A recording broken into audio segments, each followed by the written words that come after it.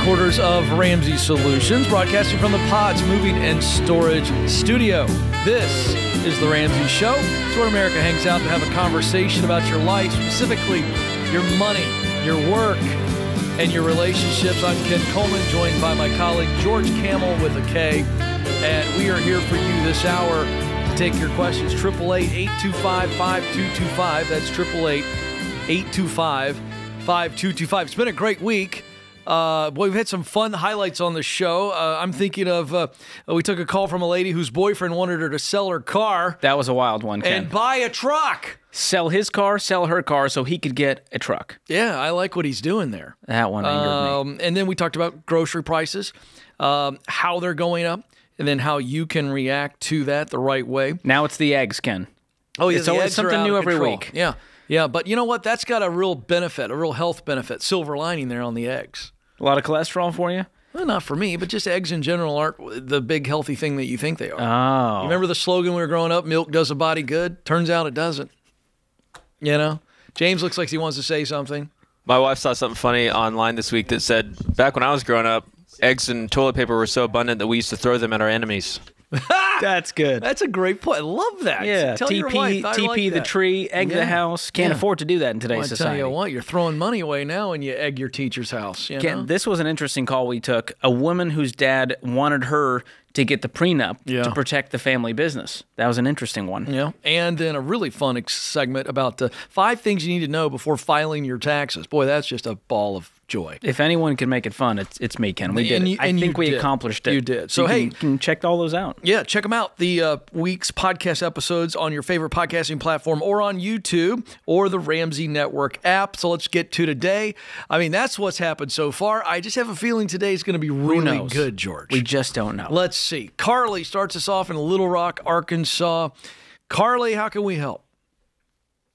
I'm good. How are you? Well, I am living the dream, and, and, and I think George is as well.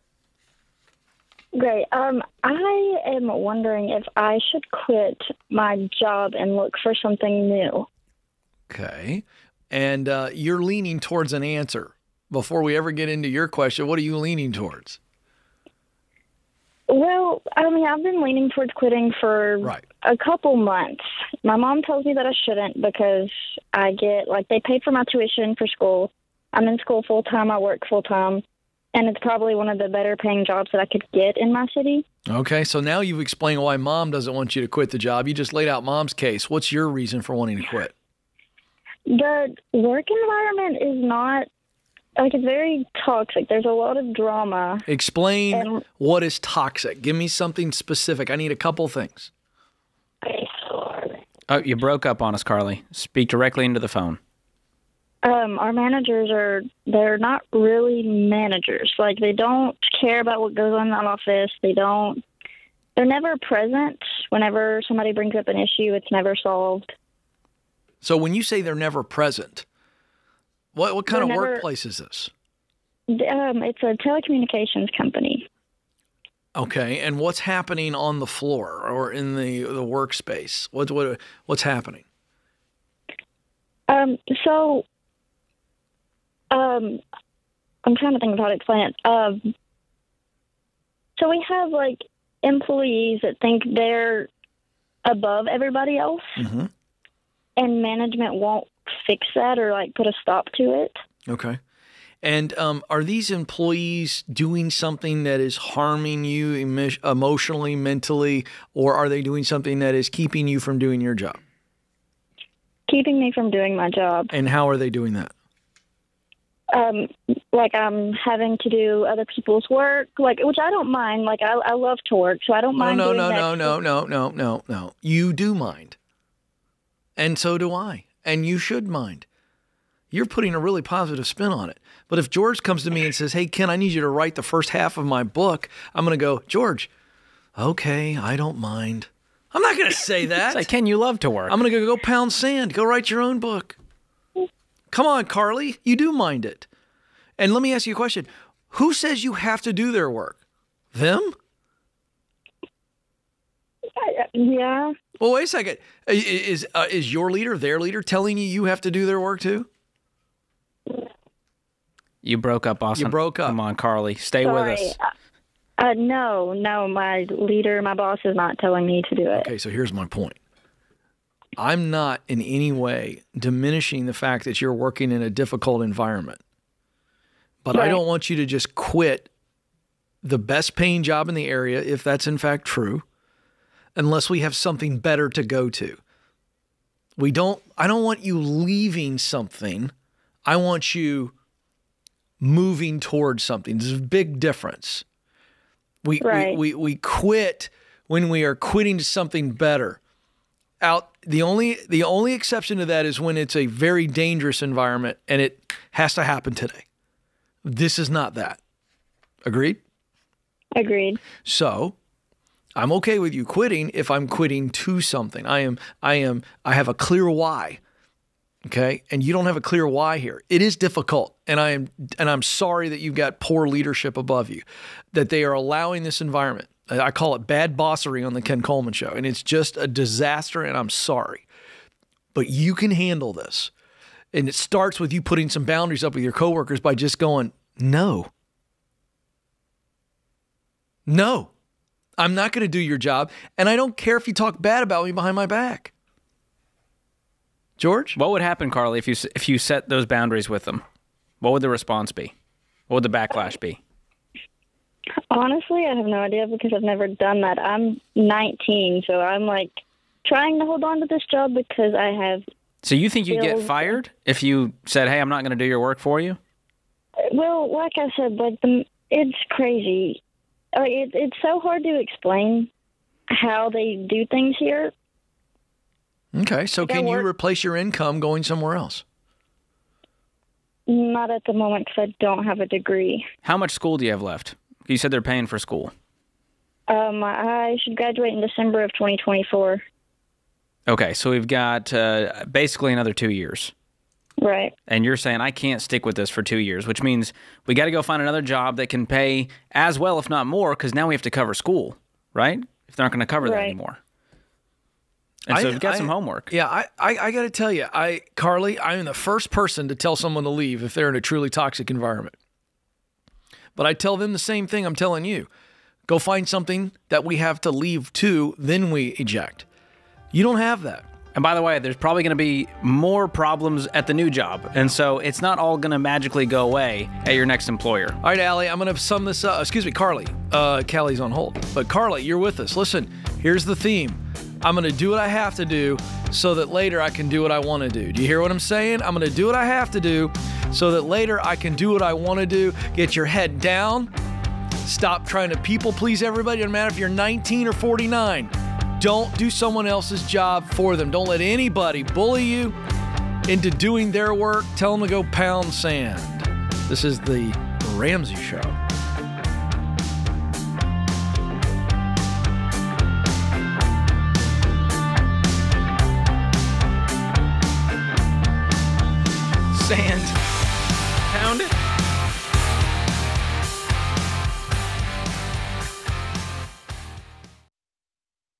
We've been doing business at Ramsey for more than 30 years.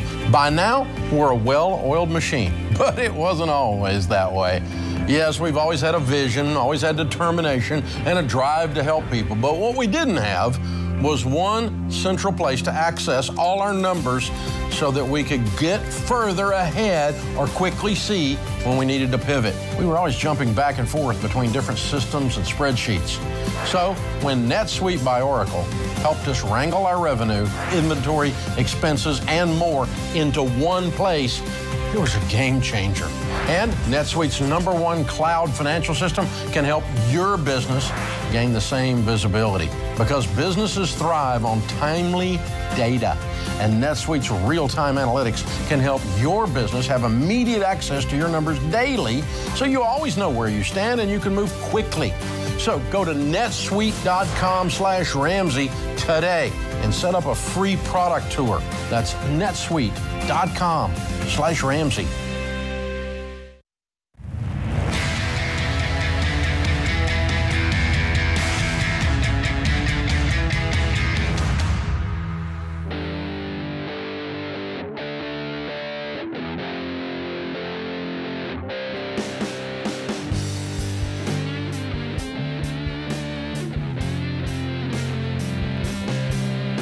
Welcome back to the Ramsey Show. I'm Ken Coleman. He is George Kamel.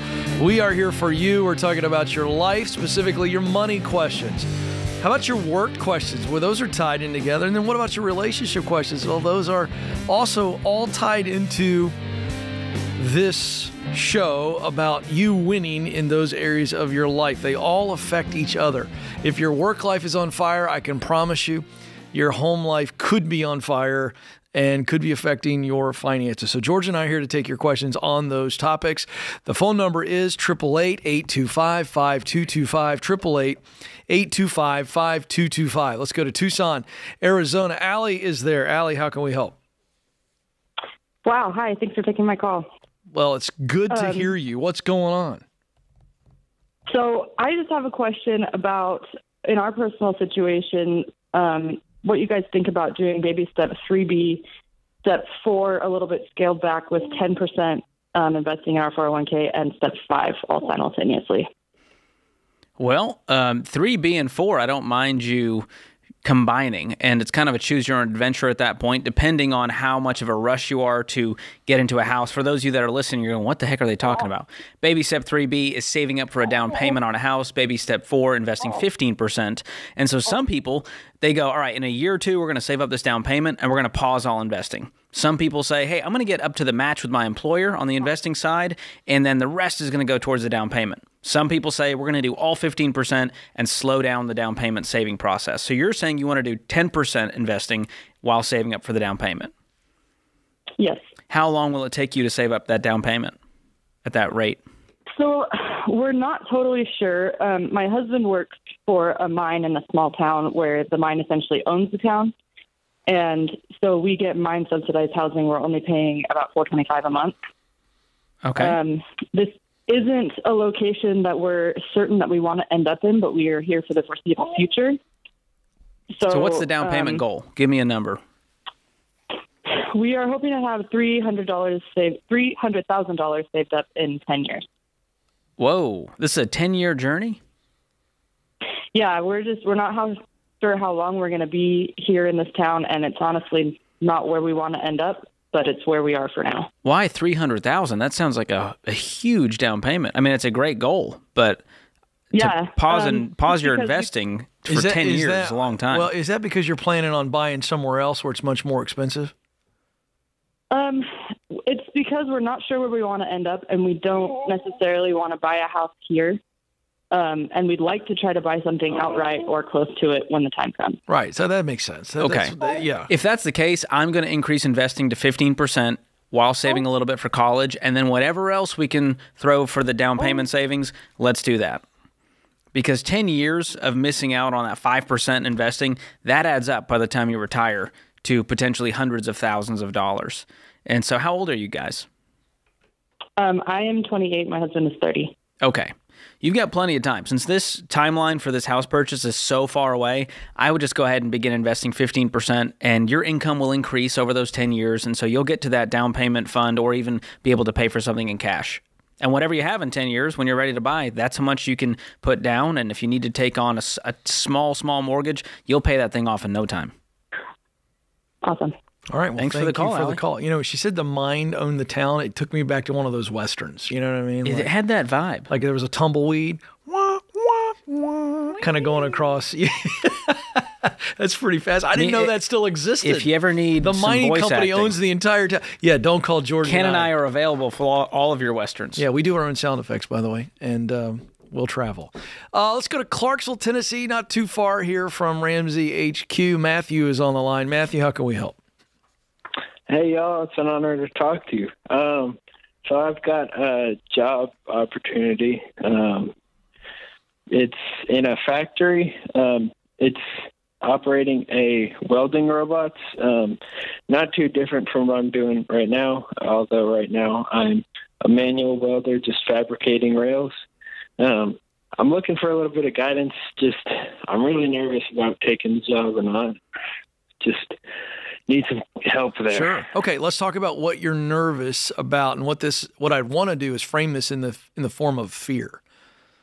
So, nerves, worry, that's a great way of describing fear. And fear is I'm afraid or I'm worried that something bad is going to happen. That's how I define fear. So, what are you afraid of? What What are you worried about that could be bad in your future if you take this job?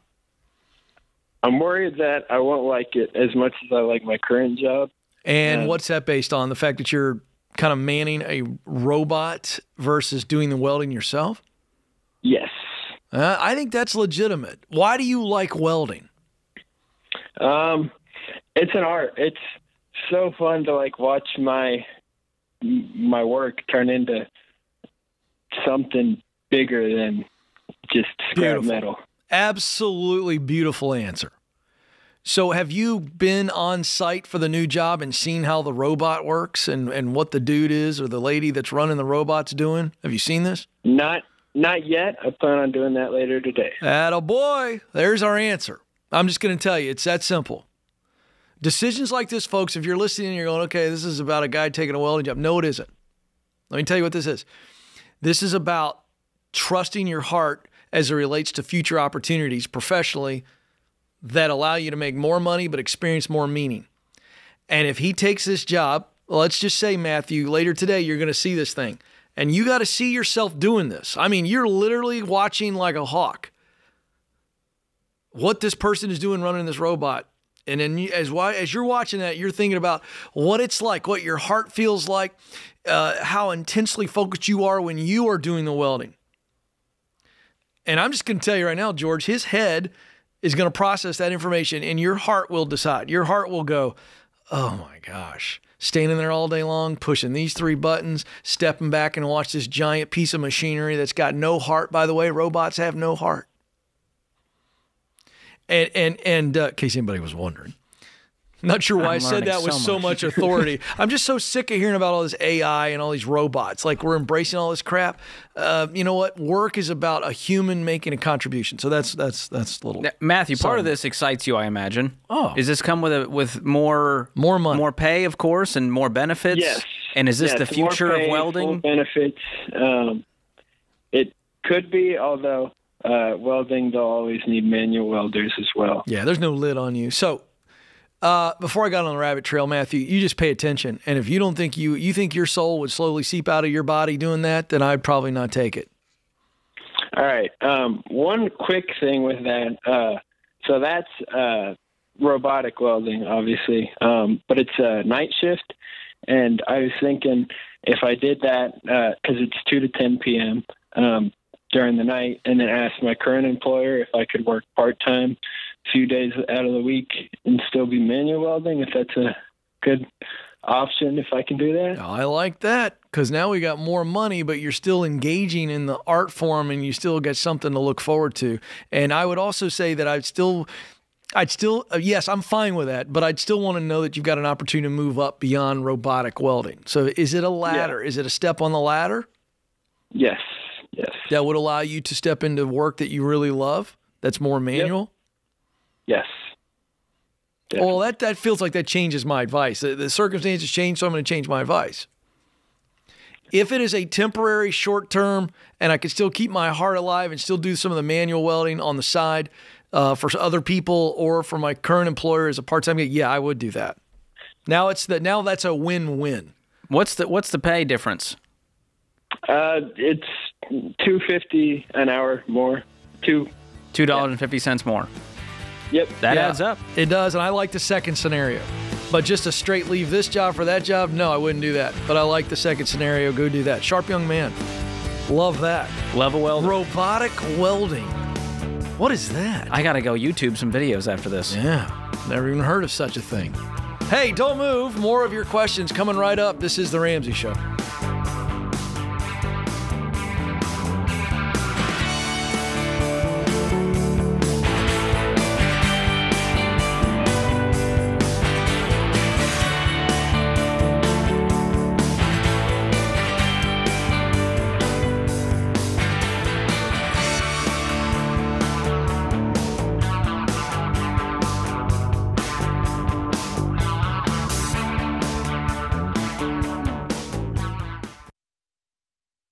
If you're like most people, your home is your most valuable asset.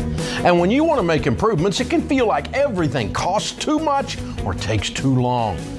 But something as simple as custom window coverings from Blinds.com can completely change your space and add value to your home. We've recommended Blinds.com for over a decade, so you know you can trust them. From blinds, drapes, and shutters to motorized shades, they make it easy and affordable to upgrade your entire home, and their team is ready to help with everything from design consultation to measuring and installation. Plus, there are never any misleading quotes or hidden fees. Everything's backed by their 100% satisfaction guarantee, and shipping is always free. See why Blinds.com is the number one online retailer of custom window coverings. Visit Blinds.com to save up to 45% off everything site wide. Go to Blinds.com now to learn more.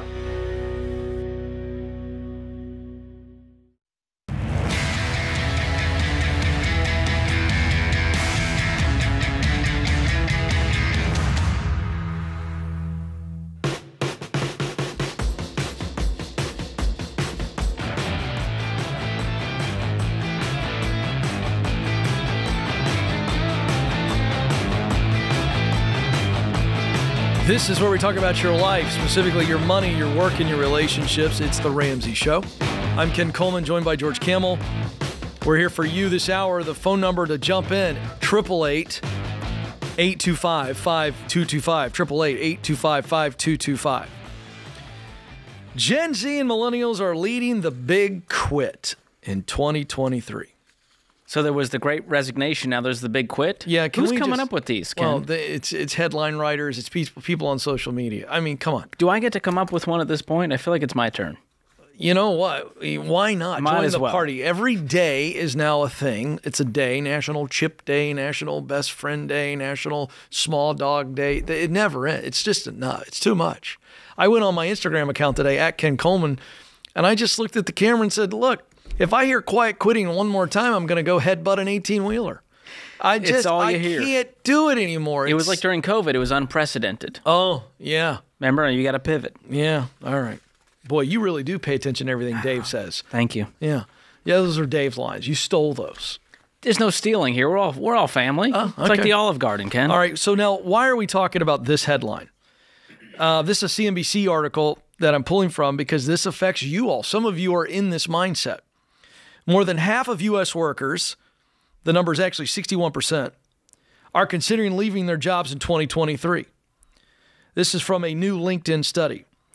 Now, it was interesting, George, that the uh, higher percentage or the highest percentage of Gen Z um, uh, workers are planning to call it quits. So, of all of the generations, Gen Z, Millennials, Gen X, and Boomers, it was Gen Z planning to call it quits.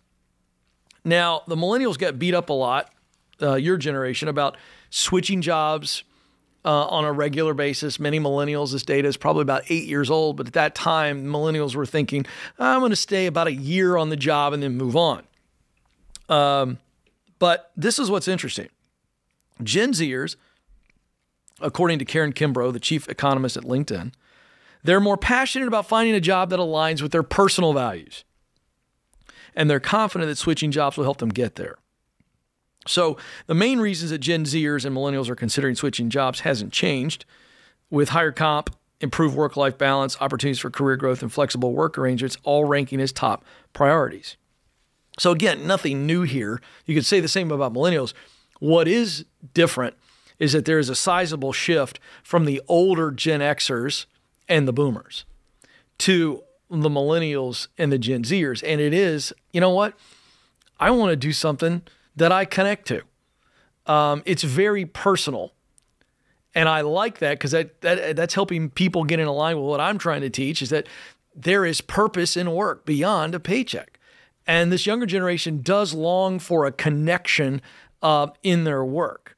And I think that is a good thing, except that if you make it all about, well, I'm only going to work for a company that is very open about their political views aligning with mine, that can get to a point where you never, it's like trying to find a perfect church. Good luck. That church shopping can be brutal.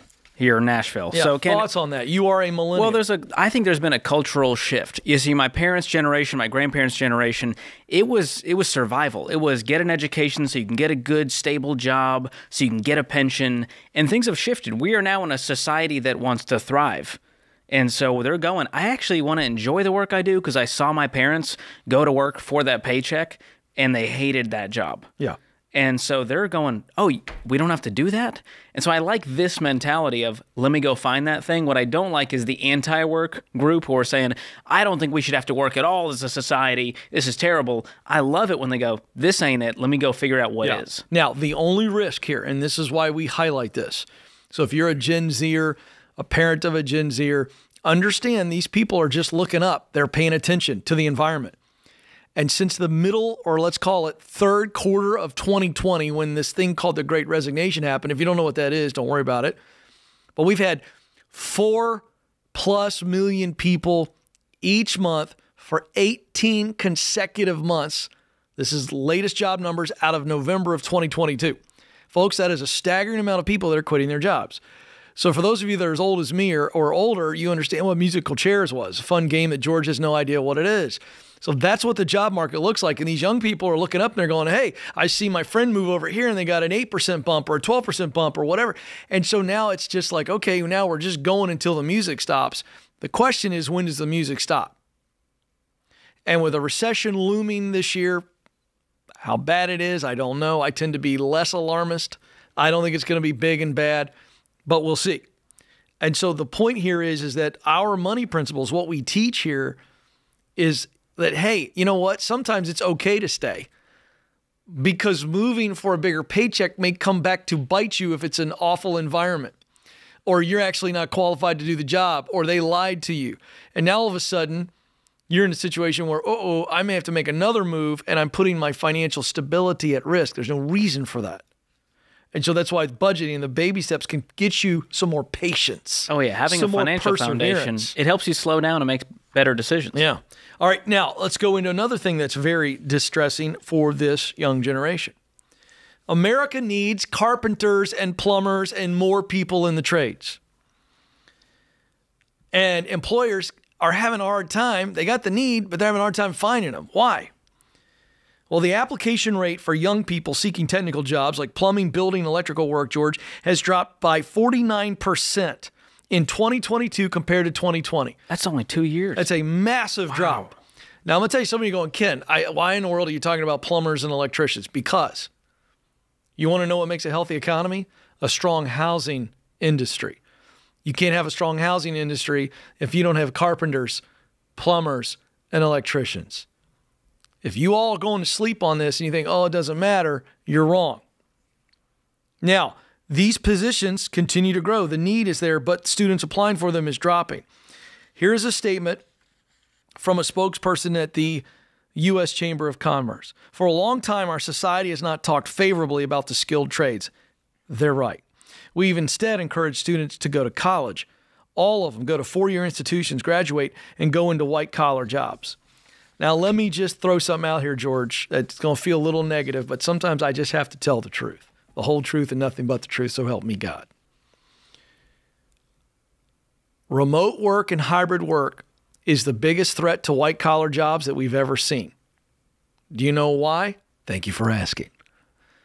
Because it's not long before companies are start to go, wait a second, you want to make 120 or 150 to sit at home and work or work a couple days a week in the office, and I can hire somebody in India for 60 to do it.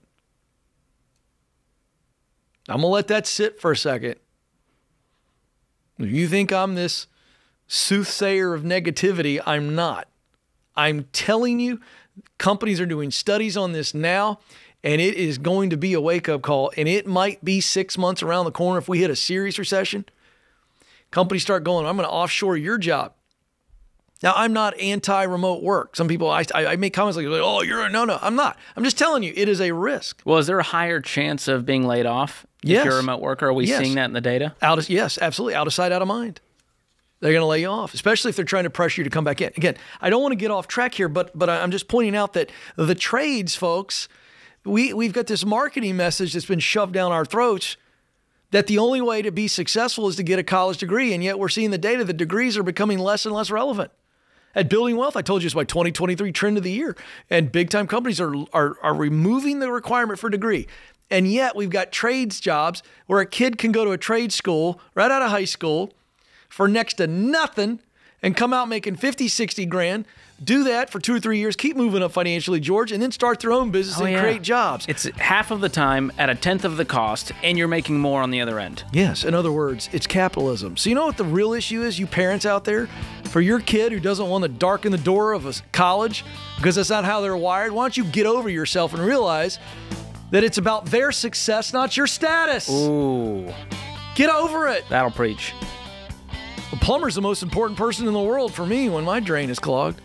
It ain't your fancy degree or your white collar and your double breasted suit. Let's bring those back, Ken. Double-breasted 2023. suits? Yeah, I think it's time. I might. Maybe the question of the day will be brought to you by that. We'll see. We'll talk about it. Hey, the rant's over. Your questions coming up next. Don't move. This is The Ramsey Show.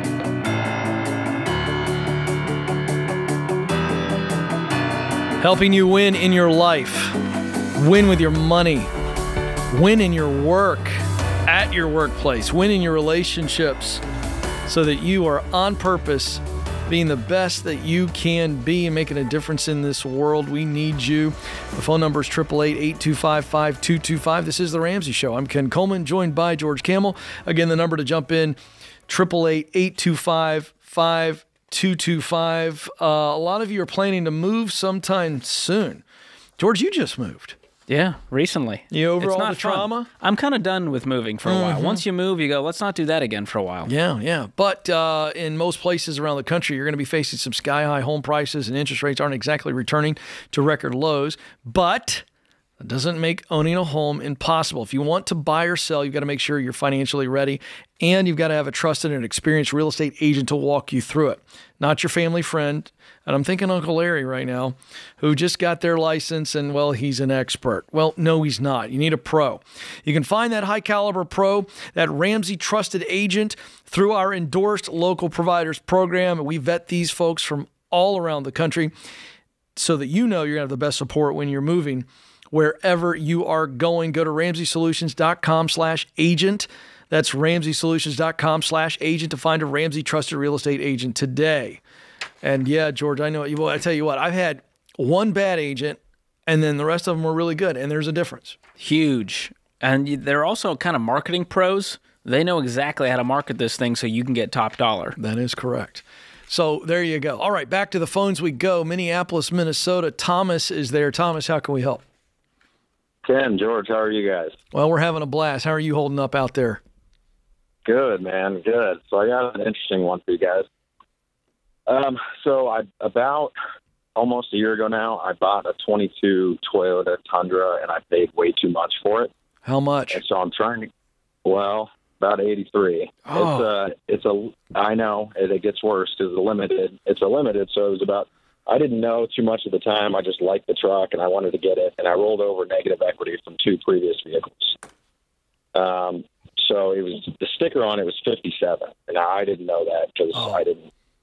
I know, I know, I know. Um, and so the so I'm I owe 73 left on it now, and about five of that is in warranty. So it's about 68 is what I owe, and then the best offer I've got is from a local dealership. They they said they'd give me 53 for it. Well, to make it worse, I put a lot of miles on it. I got about 36,000 and counting. So Well, hold on a don't have second. enough cash. To, Hold on. But they'll still give you the 53 for it with the current mileage. Isn't that incredible? I know that that's which leads, which is kind of the lead up to where I'm going. Because Kelley Blue Book was somewhere between like 46 and 48. I told them the whole story. I think they took pity on me. I don't know, but I think they're helping me out. So I don't have enough cash to cover the negative equity, and I can't. I've tried to get a personal loan, and they're saying they don't want to do it because we did just buy a house too. Who- to who's they? More interesting. Um, uh, a couple of the personal loan people online, maybe credit cards. I think they think my uh, debt to income might be pretty tapped. I'm guessing. What other debt do you have? So we just bought a house in January, and I have about twelve thousand nine hundred in credit cards, and then I have about forty five in student loans. It's a private loan, so I don't think the credit bureaus know about it. So I don't know if that would affect getting a personal loan or not. Um, and then my wife has about fifteen in student loans, and I think that about sums it up, and maybe some little medical bills here and there. And what's your household income? So it's probably like 180 last year. It should be more this year. Okay, that is good news. So you need to save up fifteen thousand dollars to cover the difference, and then we still need a different vehicle for you. Correct? You have two cars right, now. Right, right. No, no, no. We have we have one car, and I drive. Now that we moved up to Minneapolis, I drive about 50 to 60 thousand miles a year for work, which is why I'm trying to get out of this ASAP while I have the deal from that dealership, like that offer. And then I have about seven thousand cash. I should be getting, you know, a pretty good sized paycheck coming up here next. But I still need a car, and so the question is, my dad is willing to co-sign on like one of those zero percent for 20, 21 month credit cards to pay off the difference. And then I would just pay that down as soon as possible. So the question is, should I do that or should I? Keep Uh, you're giving me heartburn right now just thinking about this situation, Thomas. Goodness, we need Can to I- get can I- Ken some tums. Yeah, oh yeah, yeah. I, I've already eaten two tums off the mic as soon as you told me the price. Can he not get a local bank to give him the difference? Have you tried going to a credit union? Not one of these online it. situations. I, I called it. I called a local credit union. They said that the most that they would do for something like this is probably five thousand. Um, Okay. So let's say you could get So 5K. You're still down 10K. How quickly, making plus- 180 plus I plus, plus It's fifteen. It's it's fifteen because I get five back, but after I pay it first. Does that make sense? So that there's a five thousand dollar warranty on the truck that gets refunded once I either cancel it, but I don't want to cancel it until I pay off. Okay, so let's say And you use the month to get here. you use six from your bank that you have right now, and we'll use the new five that you get refunded towards a vehicle. so if I use the six in the bank, Plus, you get five the from five- the. You, you said the credit union will give you five. That gives you 11. Now we're just down four grand. So then we're going to hustle to get these next five. paychecks. You have another five? Mm. well, it's twenty thousand that I have to write a check for, and then they're going to mail me a check for five thousand back in a month Okay. for the warranty. It takes them a month to get it back to you. If I cancel it right now, then it just kind of makes it tougher, I think, because I still have to write the whole twenty. So the number, the magic number we on- need is 9,000. Between the, the loan from the credit union and the six you have in the bank, let's keep a thousand in there for emergencies. That puts you at a deficit of 9,000. How quickly can you stack up $9,000? Probably pretty quick. I might get it on the next check. I mean, Okay. you have to because you got to take this deal. I'm going to beg that dealer to say, I hey, I'm going to that. get this money to you, but I need a month to get out from under this thing. Can you, and have him Now- sign something, give it a deadline for it to where he knows you're good for it. Yeah, because here's my question. forgive my forgive, but sometimes the most ignorant question is the right question. So I'm going to volunteer. Thank you, Ken. George, here's what I'm wondering on his behalf. He's going to sell the truck to a different dealer than he bought it from. Is that correct? Correct. The one I bought it from said I'd come out smelling like a rose if they gave me that for it. Right. But my point is is that if you go to this dealer today and and he buys it from you for 53, you owe 15, that's still that you owe that to the other dealer. So they're not asking for that right uh, away, are they? It's Toyota, Toyota Financial. Yeah, but I mean, do you have to pay that title. off immediately because you still owe right, it? Right. So Oh well, I don't know if they'll give me fifty three if I don't give them the title.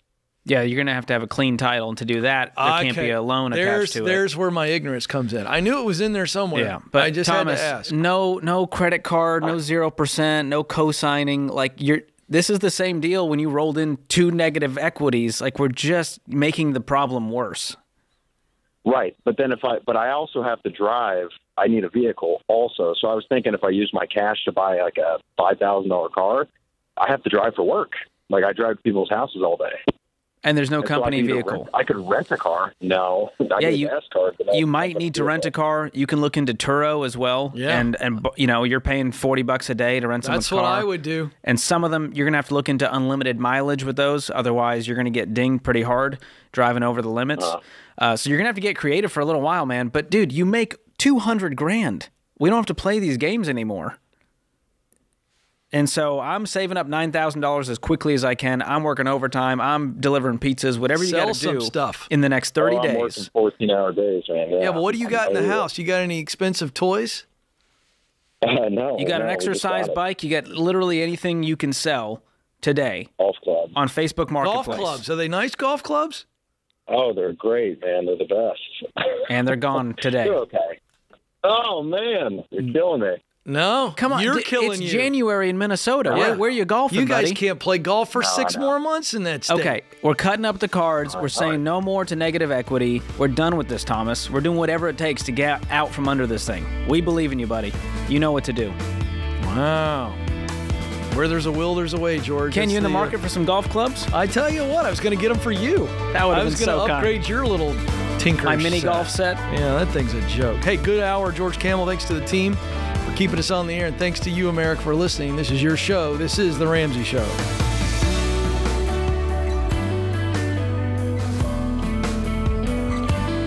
Hey, George Kamel here. If you love the show and you want a deeper dive on your money journey, we've got a weekly newsletter that gives you helpful articles and tips on following the Ramsey way. Just go to RamseySolutions.com today to sign up for the newsletter. Again, that's RamseySolutions.com to sign up for our weekly newsletter.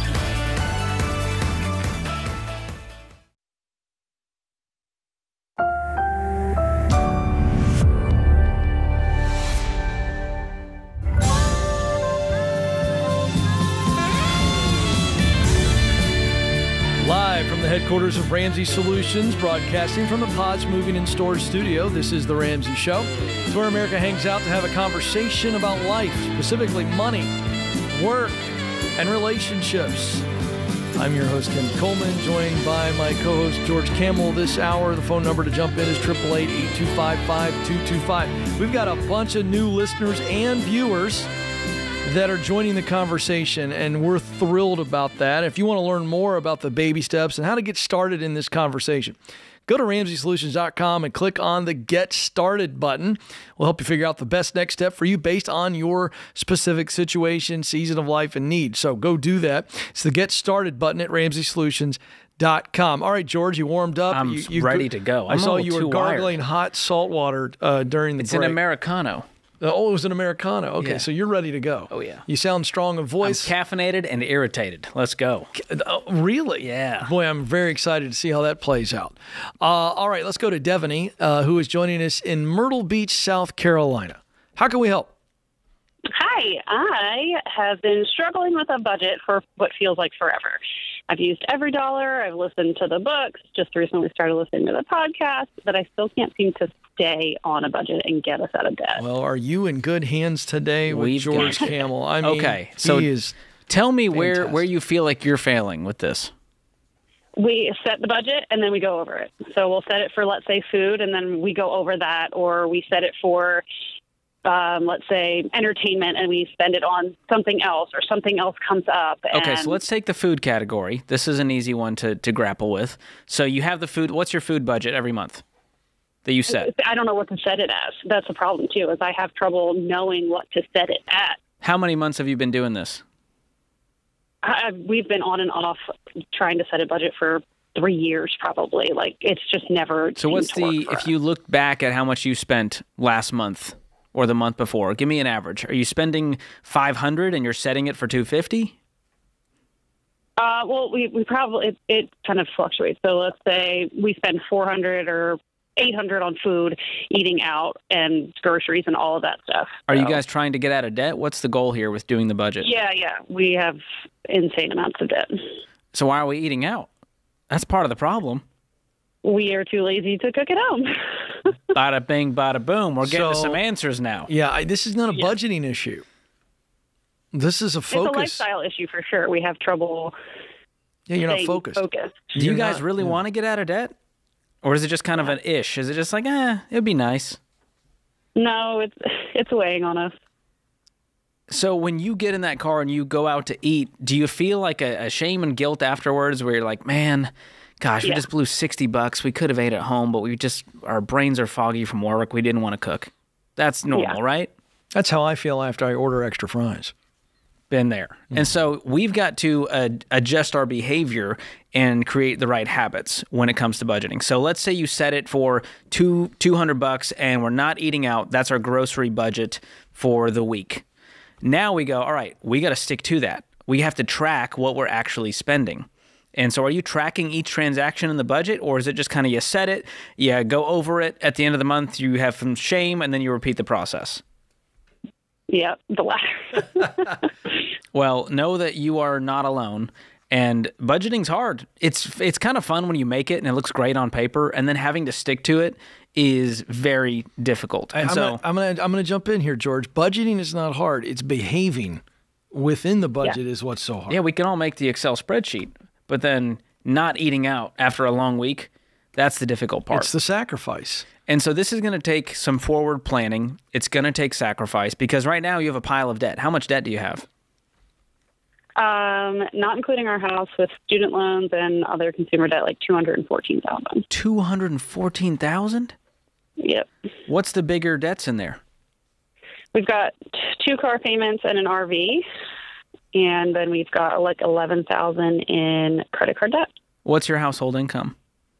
Uh, about one twenty. What's what's the RV worth? Uh, about twenty six. What do you owe on it? Uh, twenty three, I believe.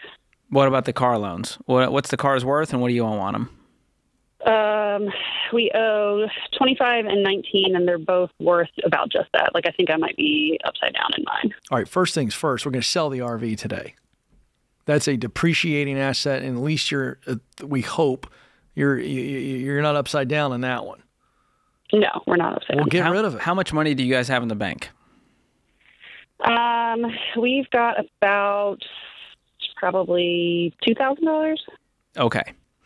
If I'm you guys, I'm saving up for a cash car, uh, a beater to get around, two of them, and I'm selling this whole kit and caboodle. Everything. You've got, you make 120, you have almost double that in just consumer debt. No wonder you guys are eating out. You're stressed out to your eyeballs. You can't even think straight. Yeah. Yeah. But George, I I, will- I want them to. I agree with your advice, but I want her to sell the RV today. Let's get some momentum. Yes. Like, because that one we don't. We got to spend. We got to save up some money and replace the cars. You don't have to do jack squat to sell the RV, and then you come away with three grand. That George will tell you what to do with Yeah, the three grand. What's your what are your payments add up to? Servicing all of that consumer debt each month. Oh, God, it's like two, four, six, eight. It's probably like $1,200 or more. So 1200 bucks to Every keep up with the payments. You know, What's your take home pay? Um, it varies. I'm I'm self-employed, and then my husband's a firefighter, so it, it depends on his if he works overtime or not. Um, What are you doing for work? 1200 It could be 2,000. I'm a photographer. Okay. So can you step up your photography game for a year after we sell this RV? Oh, I mean, I'm always trying to level up and step up on that. So. Can we charge more? Can we do some Oh, I charge, like, specials? premium. How about do something else? In between trying to grow the photography business, let's go and make some money. The, the- Yeah, the great I- news about this is this is solvable. Getting rid of the cars and the RV is the game changer. Have you cut up the credit cards yet and closed the accounts? No, I, I thought I got stuck in that you have to have your credit your credit score. So I Well- let like left them all open For what? until I, I well I didn't know that you didn't really need a credit score until I listened to the episode the other day. So Okay. Well, then today we can cut up those cards. They're not a blessing in your life. They're not a crutch. They're not for emergencies. They are keeping you broke. Right. So my goal for you, we sell the RV, we get the income up, we stick to the budget, and the way we do that is by actually caring about the end result of doing the budget, which is to mm-hmm. get out of this mess. And so at every turn, every time a transaction comes out of your bank, you've got to ask yourself, is this worth continuing to be in debt, stressed out, not where we want to be, not where we should be? You guys make six figures and it all goes out to lenders every month. And so you've got to really find that why, channel it, and then that'll help you go, all right, we're going to be We're going to start meal planning. We're not going out to eat. We're cutting every subscription. No more travel for the year. We are going to batten down the hatches and get out of debt once and for all. And if you start doing this stuff, and you might need to sell the cars once you have enough cash to get the beaters, that's going to help you climb out of this pile and mm. see the light at the end of the tunnel. So hang on the line. I'm going to send you EveryDollar premium, which will connect to your bank. There's a paycheck planning tool. It will help you finally get control of your money. So hang on the line. Austin will gift that to you to help you on the journey. Thanks for the call. Thank you so much. You can do this. You got to believe that you can do it, but you got to start taking action. I'd list that RV within the next hour. Thank you so much for the call. He's George Kamel. I'm Ken Coleman. This is The Ramsey Show.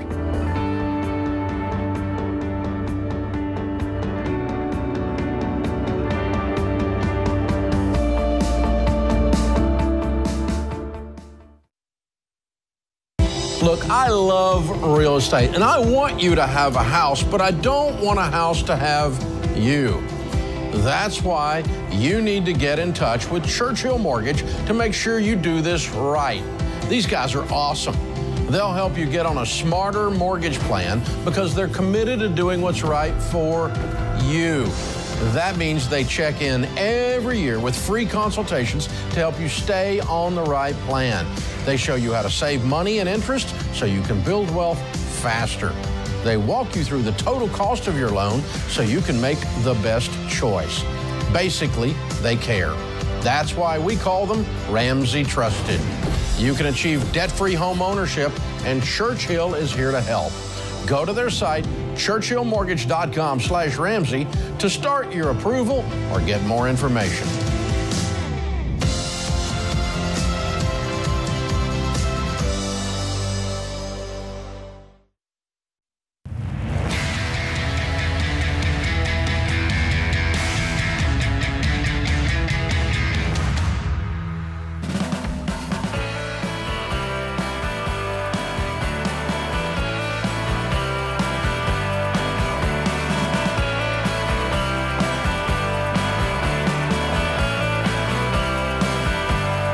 Ramsey Show continues from our Ramsey Solutions World Headquarters in the Nashville area. I'm Ken Coleman, joined by George Kamel. The phone number to jump in is 888 825 5225. 888 825 5225.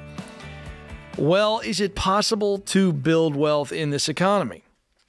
We keep hearing that question, and we understand the heart of the question. There's a lot of noise out there about inflation, stubborn inflation, looming layoffs, new headlines every day about more layoffs, rising interest rates, and on and on and on the negative news goes. That's why we've decided to bring our Building Wealth live event to more cities. Dave Ramsey and our team uh, will be coming to a city near you in the spring. Uh, each Building Wealth live event has its own unique lineup. Dave Ramsey, George Kamel, Rachel Cruz, and Jade Warshaw will be in Indianapolis on February 16th. On February 23rd, you'll see Dave Ramsey, myself, Dr. John Deloney, and Jade Warshaw in Austin, Texas. Next, we head to Salt Lake City on April 24th, where you can see Dave Ramsey, Rachel Cruz, George Kamel, and Christina Ellis. And then for our last stop, Dave Ramsey, myself, Dr. John Deloney, and Christina Ellis will wrap up the tour in Anaheim, May the 2nd. Tickets start at $49, or you can get a four pack of tickets starting at $175. Bring your friends. It's going to be a lot of fun. Go to ramseysolutions.com slash events. That's ramseysolutions.com slash events to, revert, to reserve your seats today. So, George, as I look here, we are. Um, I'm going to miss you on the road, Ken. We're just two uh, ships uh, passing in the night. It looks like our uh, on road tension has finally caught up with us. They've decided to They separate split us. I thought it was because we're too powerful together on the road. I think it's because they're worried about the root beer float taking over. I and, agree. uh, we're such a popular combo here uh, on the show that we are called a root beer float, and they're like, "Well, we don't want to distract from Dave being No. out there. I No, mean, he's the star of the show. I mean, if we're the root beer float, Dave's the steak. He's the belle of the ball, Ken. Always a bridesmaid, never a bride, you know? I wouldn't call him that. I like the steak analogy a little bit better. Feels more appropriate. He's not listening. It's fine. Yeah, well, that is true. Uh, I'll tell you who is listening though. It's Sarah. Sarah in Cincinnati sounds like a uh, rom com. I love that. Yeah. Alliteration. Yeah, there you go. Let's go to Sarah now. Sarah, how can we help? Hi, guys. Thanks for taking my call. You bet. Um, so I had a quick question. I am a photographer, another photographer. You guys just talked to one, but Yeah. Um, I just got a small inheritance from a trust from my grandma after she passed away, and I wanted to know. I need new equipment for my business, just a, a small amount, not a lot. And the amount of money that I'm getting isn't huge, but I was wondering what to do with the amount that's left over after. We're still paying off our debt, so we pay off about seventy thousand dollars, Good for you. and we've got thank you, and we've got about ninety left, I believe, just a little over ninety left to pay off. Um, and so, How much is the inheritance? where- um, it's before taxes. It's like t- a little over twelve thousand dollars. So after taxes, it would be close to like nine or yeah, like about. Are you nine and a sure? Are you sure there's taxes on it? Um, when we went and met with the um, person who takes care of her trust with Edward Jones, they um, told us that there was like twenty five percent, twenty two percent because of our tax bracket. I guess. Okay. Just wanted like, to verify because so- a lot of the time yeah. inheritance isn't taxed for the person who's receiving it. But if you got that information from a professional, I would trust them. Yeah. Okay. Yeah. So, you think it'll totally- be 'cause it's- closer to Go ahead, sorry. nine thousand? Yeah, so after tax and everything, it'd be just a little bit either north or south. It just depends. I'm not exactly sure the exact amount, but it right around that nine thousand mark. How much does the photography equipment cost that you feel like you need? I just need a camera, so it would be somewhere close to about twenty five hundred dollars, and the rest would be just like free. And how much are you making from this photography business? About seventy five thousand after taxes and everything. Way to go! It's awesome. And what's your household income if you include your spouse? Um, I uh, about two hundred and ten thousand total. Wonderful. Well, I I'm in the boat of wanting to use this money to pay down the debt and we upgrade the camera equipment through your business income, through kind of fresh new income. Um, either way, you're going to be using the cash. But I'm just wondering, it, it would feel different if you're investing in new equipment through cash flow from the business. Okay. How much money do you guys have in the bank? Um, we've got our so since we're just doing our we're in baby step three or two because we're paying off all of our debt. We've got the thousand dollar emergency fund, Okay. so then everything else is just going towards that debt. What kind of debt's the 90 that's remaining? Um, student loans, uh, student loans. I have one car payment, and the rest is um, credit cards. Okay.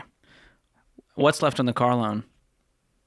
Uh, like nine thousand, And what's the car worth? uh, about twenty six thousand, twenty seven. Ooh, that's pretty tempting. I think I'm paying now. I'm I, George. That's what I'm thinking. Uh, she was like, "Pl- I was hoping he wouldn't go there. I mean, I'm just looking at the the hard math on the thing. I mean, you're going to net 17. You go get a car for seven. Now you've got 10,000 that magically appeared, and I would feel a whole lot better you using that money to purchase the new equipment, the rest going towards the debt, um, to put a little bit of skin in the game. Because right now it doesn't feel like the you guys have are, you're you're on the plan for sure, but it's easy to get a little bit comfortable. This money, you know, from grandma, which what a beautiful legacy to leave. Um, Yeah. would I don't know. I don't know grandma. I don't know how she would have wanted you to use it. I think it's beautiful either way. If you're using it to grow your business, using it to pay down debt, uh, those are both great things. But I still f- would want some sacrifice to feel like I earned this camera purchase. Okay. But either way, you're going to get there. It's it's not a lot of money at the end of the day. Uh, and see if you can get the camera used. Are you buying a new camera? That was my thing. Is I was definitely going to get it used because it's it's not something that I need to get brand new. Okay. Yeah, I might just pause and not rush into the camera purchase and go, let me wait. Let me see, find a deal on Facebook Marketplace, Craigslist, my photographer community in Cincinnati. There's people unloading gear left and right. I'm I'm curious. What's the?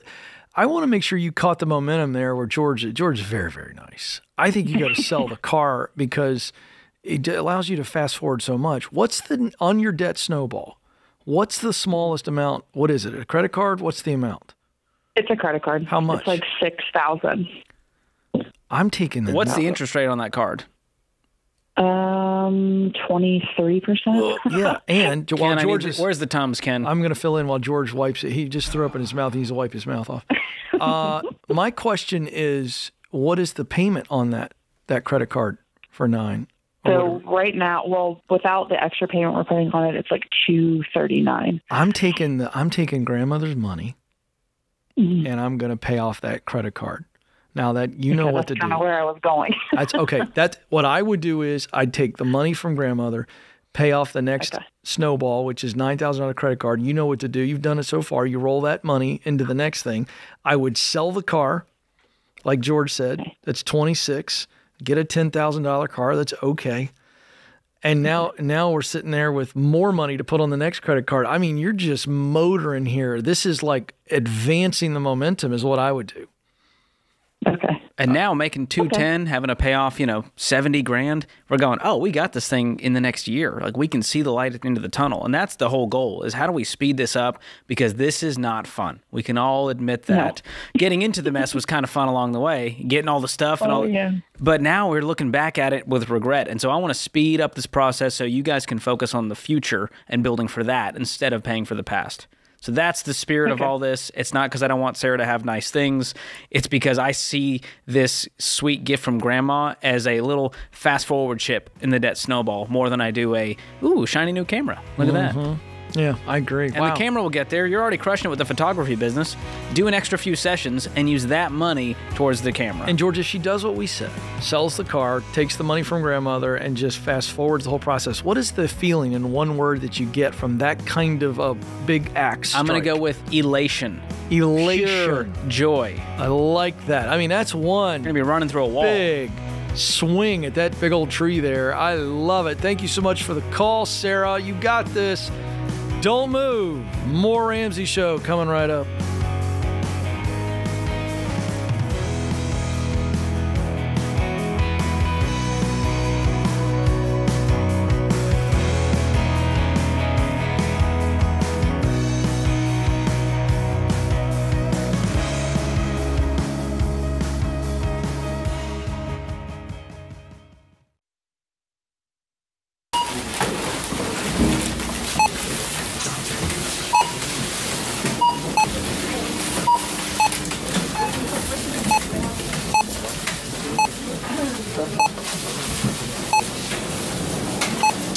On baby step number one, eh?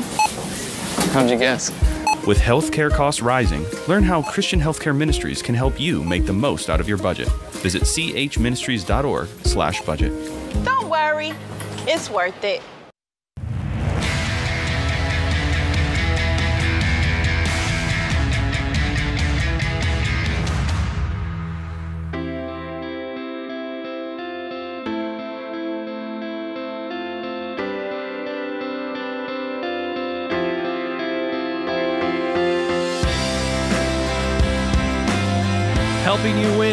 Money life, your work life, and your relationship life. This is The Ramsey Show, 888 825 5225. 888 825 5225. I'm Ken Coleman. George Kamel joins me taking your calls.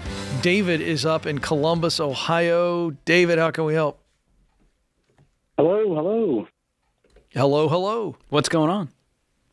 Uh, well, my wife and I went through the Financial Peace University DVD set last year, and it helped us to pay off quite a large amount of debt from our credit cards and a personal loan that I had. And um, uh, we worked ourselves down to two debts, but we seem to be stuck in a revolving door of the baby steps the past six months, and um, I'm kind of looking for guidance on where to go from here. Okay, what's this revolving door? Have you had some emergencies? Yeah, we built up our emergency fund. Um, we've got three vehicles. One of them I owe on. The other two we own outright. The two that we do own on have some higher miles. So every time we build up the fund, they need maintenance or the house needs maintenance. Um, we build up our six months, uh, essentially savings. And unfortunately, last year we had an unexpected need to put a roof on the house, so that took a big chunk out of that fund as well. Um, so we're we're kind of looking where to get it from here. I'd like to put more in my 401k. How much are you putting now? Uh, I was putting 15% in. Uh, last year, I cut it back to 6% to help pay off the excess debt, and I'm wanting to take that back to 15. But I'm torn as to whether to put more into 401k or to pay off the car loan that I currently have. I'm confused as to which financial peace university you went through, David. You're doing 17 things at once. Yes, that's that's our our downfall. We seem to take on way too much at once. Okay, so how about this? What if for six months you tried the plan as is and you went all in? which means we're not investing, we're taking our savings down to $1,000, and we're putting every single ounce of energy and money towards our consumer debt. Would you would you take that challenge? Absolutely. And I tell you that because I have such confidence in you, and I've seen thousands of people who go all in actually accomplish it. And I've also talked to hundreds more on the phones who go, Hey, I don't know why I'm not making the progress I should be. And also, I'm not following the baby steps as is. And so it's not to be fundamentalist, it's just to go, when you focus all of your energy and intensity on one thing at a time, you make progress. That's all it is. So, how much do you have left in consumer debt? We owe a hundred thousand on our house, and we owe thirteen. Well, I owe thirteen thousand on my car. So we're just 13 away from this thing being done in baby step two. Correct. What's the car worth? Uh, it books for right under 14. However, the offers I've gotten from the dealer, I've tried to sell back to them. Um, they're not wanting to budge off of 10. Well, forget the dealers. Let's go private party. Let's do our research online and see if there's any online companies that would buy it for more and uh, go from there. Because this clears the deck for you to be able to start saving up that fully funded emergency fund. And you have three cars. Do you need? Can you survive on with two? Uh, yeah, we're exploring the option of selling our truck. Uh, we own it outright, so that would be you know sixty five hundred to seven thousand dollars we could pocket. Okay. Yeah. And I, I, I don't want to miss, D- David, I want you to miss what George said. You're kind of like, yeah, don't sell the car to the dealer. They're never going to give you what you can get private party. It's not even close. Yeah, I, I, I tried to sell it private party last month, and unfortunately, you know, a lot of tire kickers, uh, not a whole lot of interest, and they seemed to offer about the same as what Where'd you list it? offering. Where'd you post it? Uh, it was listed on Craigslist, local ads, Facebook, um, just a couple places. Well, are you offering, are you selling it for what it, what it really could command via Blue Book? Oh yeah, the Blue Books uh, listed it for thirteen nine. I had it priced just under fourteen. Um, I even had a couple offers out. You know, if someone was willing to do thirteen five, essentially that would dissolve the loan, and I'd pocket four hundred dollars, and I could wash my hands of it and continue on with life. Why didn't you do that? Uh, the best offer I could get was around ten. Oh, you weren't actually getting the. the Oh, full. I thought you Okay. said you No, got. yeah, that, that yeah, that's the downside. What's It's- your it's kinda- household income, David? Uh, we bring in, we gross about a hundred uh, a year. Okay, so let's say we even didn't sell the car. How quickly do you think this thing's getting paid off if we brought investing down to zero and we went full focus on getting rid of this car loan? Um, hmm, I, I know without touching the investing, we calculate we could potentially have it paid off by August. Uh, without the investing, I- I'd say I'm thinking June, 90 July. days max. You guys are bringing, I mean, you're bringing home what 7k a month. Um, a little bit under that. So 13. Let's say we could divide that in three, right? That's going to be 4,300 bucks a month. So the question now becomes, how do we find $4,300 worth of margin to throw at this debt? Which means we're pausing investing, which means we're not eating out, which means we're hatching, you know, getting the the budget dialed in. Could you come up with four grand a month to throw at this car loan? Absolutely. And so now, 90 days from now, we're at baby step three. And so we're out of this vicious cycle you've been experiencing. And if there was another emergency, we would just pause the baby steps and start saving up with those future paychecks. Okay. But you got to go all in for this to work, David. And so I want you to call us back as you go all in on this and let us know if anything has changed for you. Because I think it will. Yeah, good advice there. Thanks again for the call. Let's go to Glenn in Chicago. Glenn, how can we help? Gentlemen, my wife and I are uh, trying to figure out if we're on baby step 3B or baby step 4. Um, we've paid off a lot of debt and uh, we have our emergency fund in place. Um, but because we have uh, four kids and we're thinking about college, uh, but we also don't own a home yet, we're just trying to figure out what the priority now needs to be. So you said you've paid off a lot of debt. Is the debt gone completely? Yes, sir. That's correct. Everything. Awesome. And you've got a fully funded emergency fund. How much do you have in the bank for that? 15000 Wonderful. So you're wondering, should we focus on 3B with the down payment, or do we go ahead and start investing that 15%? And then what about college? Is that the kind of conundrum? Is what speed to do all of these? That's that's exactly right. You got it. What? How old are you two? my wife is 36 and I am 31. Okay. Is there a rush to get into a home? I mean, you uh, got four kids and you're renting. Is the is there enough space? Are you guys good there? Could Yeah. you rent for a few more years? Yes, we could. I think we could rent for another three years. I'm. We're both content with that. Great. And then have you been investing at all previously or is this all new? We've been setting aside $150 every month into a Roth uh, for the last year. Um, other than that, we've been setting aside. Uh, uh, we've got about 30 grand now for the house, in addition to the emergency fund and a brokerage account. Cool. so we are investing, uh, but really the 150 is the retirement investment. The the rest of the savings we have is going into the, like I said, a brokerage for for the house. Okay. If I'm in your shoes, if you're doing the brokerage, you want to have a longer term time frame and mindset. So this is a 3 plus decision for the home. And so if that's Yep. the case, I would start investing 15%. I would throw a little bit into, you know, a 529 or an ESA for each of those kids, and then anything remaining is going to go towards the down payment to keep, you know, saving up for that. And then whatever money you have at the end of those 3 years or 4 years, that will help us decide how much house we can afford and where we're going to live and all of those decisions. Okay, so for now, you you think it would be best to start 15% into retirement? Yes. At your at your ages, with uh, you know you haven't saved a whole lot. I want the power of compound interest working for you. You guys have done the hard work of getting out of debt, getting the emergency fund in place. Now let's start building for the future so that the kids don't have to cover you guys in retirement. Because there's a hundred percent chance you'll retire. There's a 50-50 chance the kids go to college and graduate. And so I want to make sure we're at least investing that 15%. We'll get the down payment when we get there, and let's put a little bit for college to help that money grow. Thanks for the call. Yeah, you got this, Glenn. Good advice, George. I'm trying to keep up, Ken. Uh, you're doing more than keeping up. You, uh, you get get yourself a little uh, protein bar during It's all the break. caffeine. Little protein. All the caffeine's starting to make you crash. Little protein during this break. He'll be ready, folks. And I've always got the juice, so don't worry about me. This is the Ramsey Show.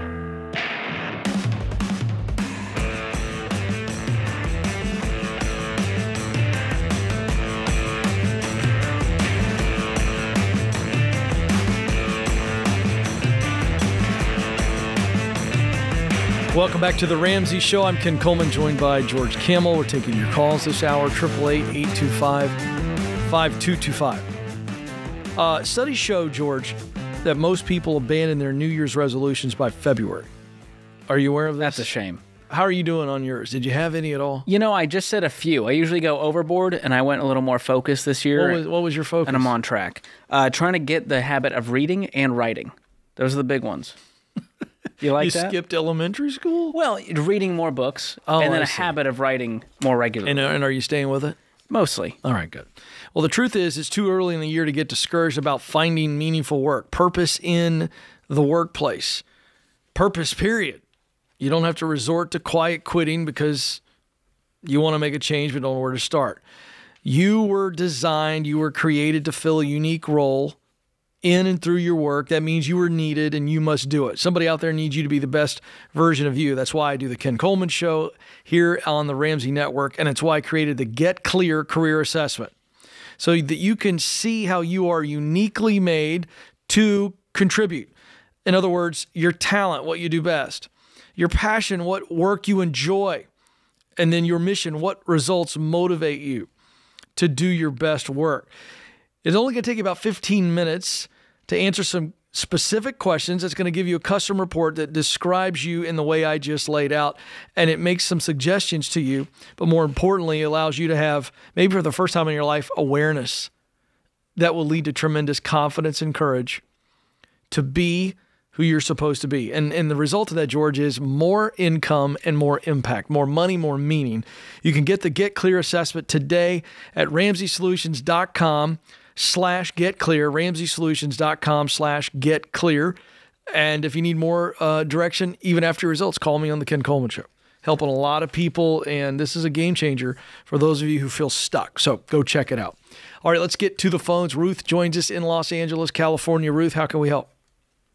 Hi, um, I'm calling because I'm at a life stage where I've come through a lot of transition. My my husband passed away uh, three years ago, and um, what happened over the course of time is uh, he passed away, and in the course I I took on our properties and that sort of thing. So I I inherited wealth or took over the family business, that part of it and um, I lost a lot, or actually, like all family uh, friends, and I've had family try to sue me for part of his estate, and I'm in a place where I just need new friends, and I'm looking for people that have wealth and are interested in using it to reach out and make an impact and help others. But I don't know where to go for that sort of thing. Wow.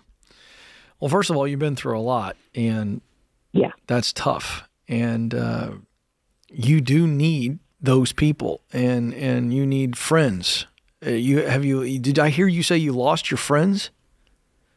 Oh yeah. Well, yeah. I mean, I lost my best friend. She died the year before my husband died. Okay. So, but also, what happened is all of a sudden friends expected me to, to be to give them money or make things, throw them parties, that sort of thing. It got it got weird. Yeah, because they saw you come into a lot of wealth, and then they got real attached.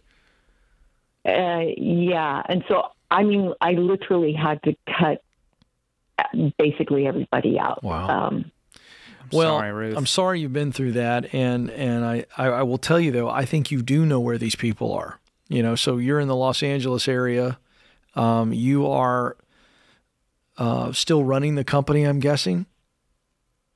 um, yeah, Yeah, I mean, you. you I don't. It pretty much, you know, it pretty much runs itself. I'm basically retired. I don't really need to do very much. It's not and it was hands-on. that way before Gotcha. my husband Okay. passed as well. Exactly. So first thing I So want you I- doing is I have something. I'm sorry. I just want you, here's what I want you to do. I want you to start joining some social activities where you know, quite frankly, let's just be really honest, where other wealthy women are going to be. Because now now they don't need you for anything.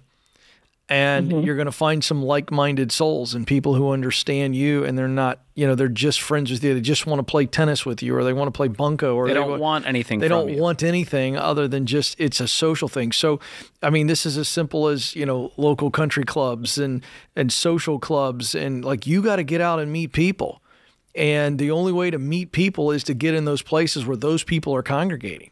And there's nothing wrong with that. You know the old phrase "birds of a feather flock together." Well, you know where those people are flocking. Yes or no?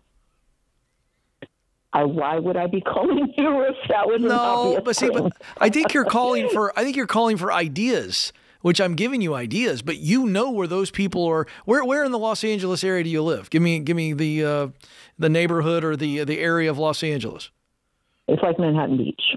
Manhattan Beach. Okay, great, lovely area. Okay, so are there country clubs uh, at, in in the Manhattan Beach area? Um, yeah. Yes. Okay, so that's a that's a big dollar thing. I know. Hold on, we're brainstorming. All right, so it's not a country club. But you live in a neighborhood, Ruth, right? It's got an HOA.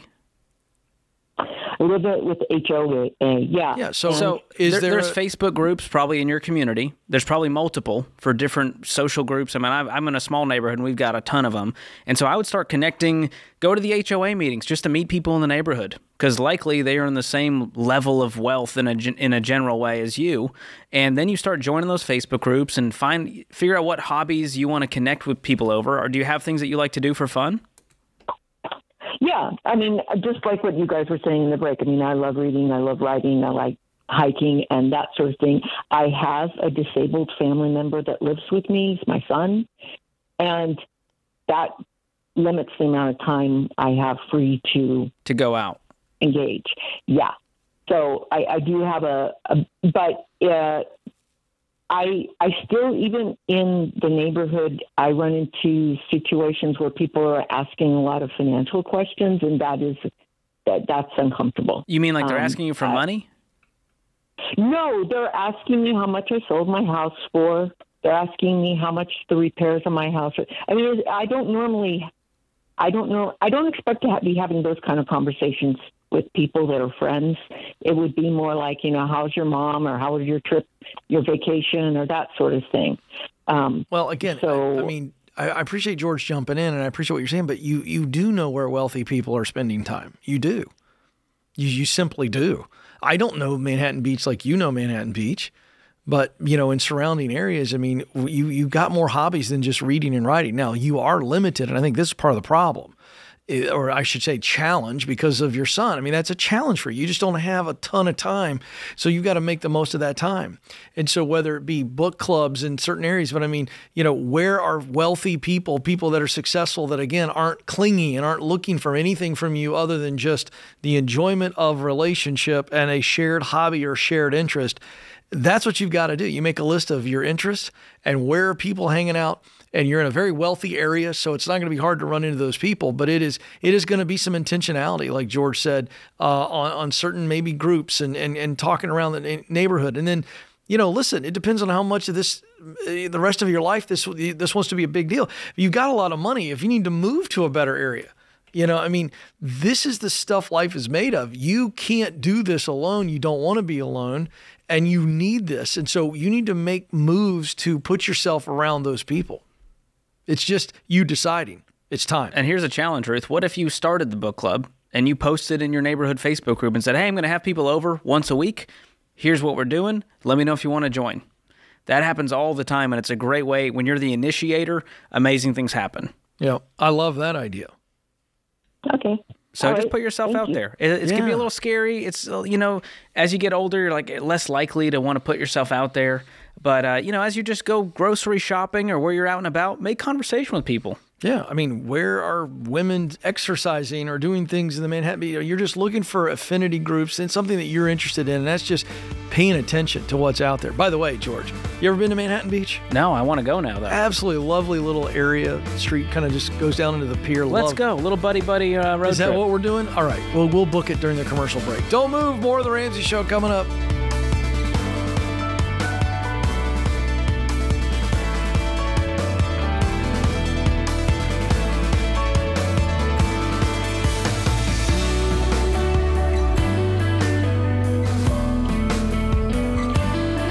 It's Ken. If you love the show and want a deeper dive on your money journey, we have a weekly newsletter that gives you trending and helpful articles and tips on following the Ramsey way. Go to RamseySolutions.com today to sign up for our newsletter. Again, that's RamseySolutions.com to sign up for our weekly newsletter.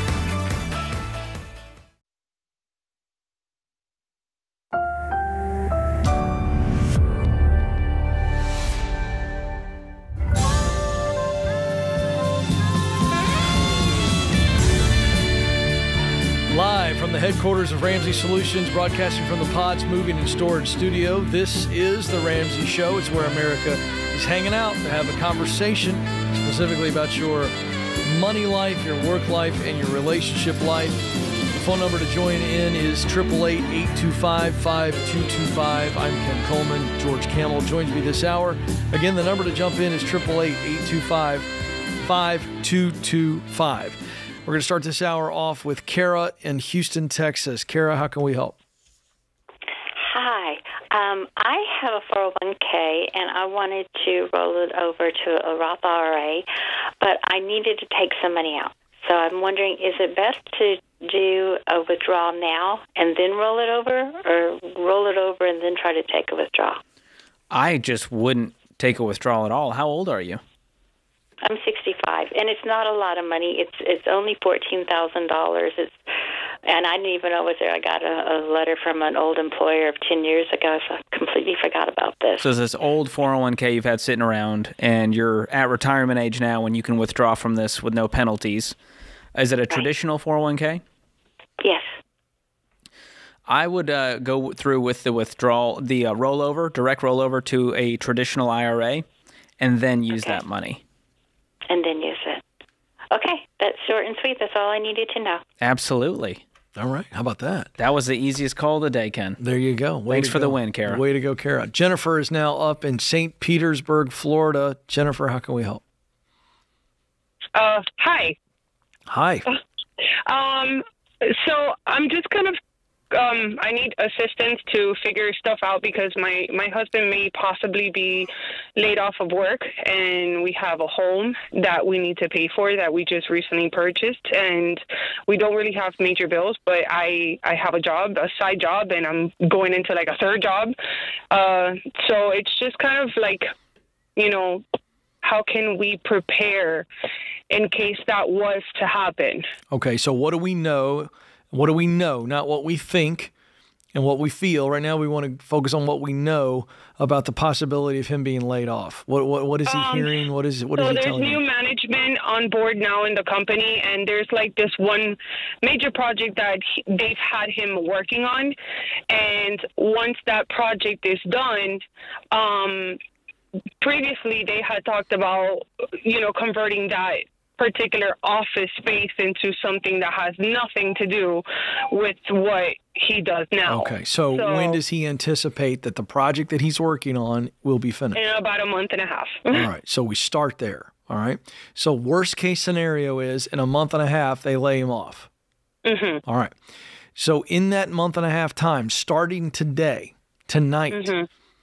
Okay? Mhm. If it's me, this is what I would do if I were your husband. I'd be reaching out to people that I know in his industry, uh, people that uh, may know somebody in other companies that uh, hire people to do what he does. So we're just looking, you know, St. Petersburg, Florida, big area.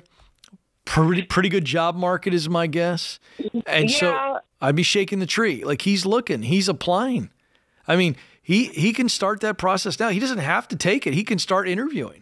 You know? The thing is that he's already like out of at, at his max. Like he's actually getting over overpaid for what he actually does. You know, in anywhere else. What does that have You to know, do with what I told you though? What does that have to Yeah, do with the fact that it's that that he's still got to be looking for something? We need a plan. We need a backup plan. Yes. So you're saying worst case, there's a slight reduction in income if he Mhm. goes to a different company. So we'll that'll adjust our budget.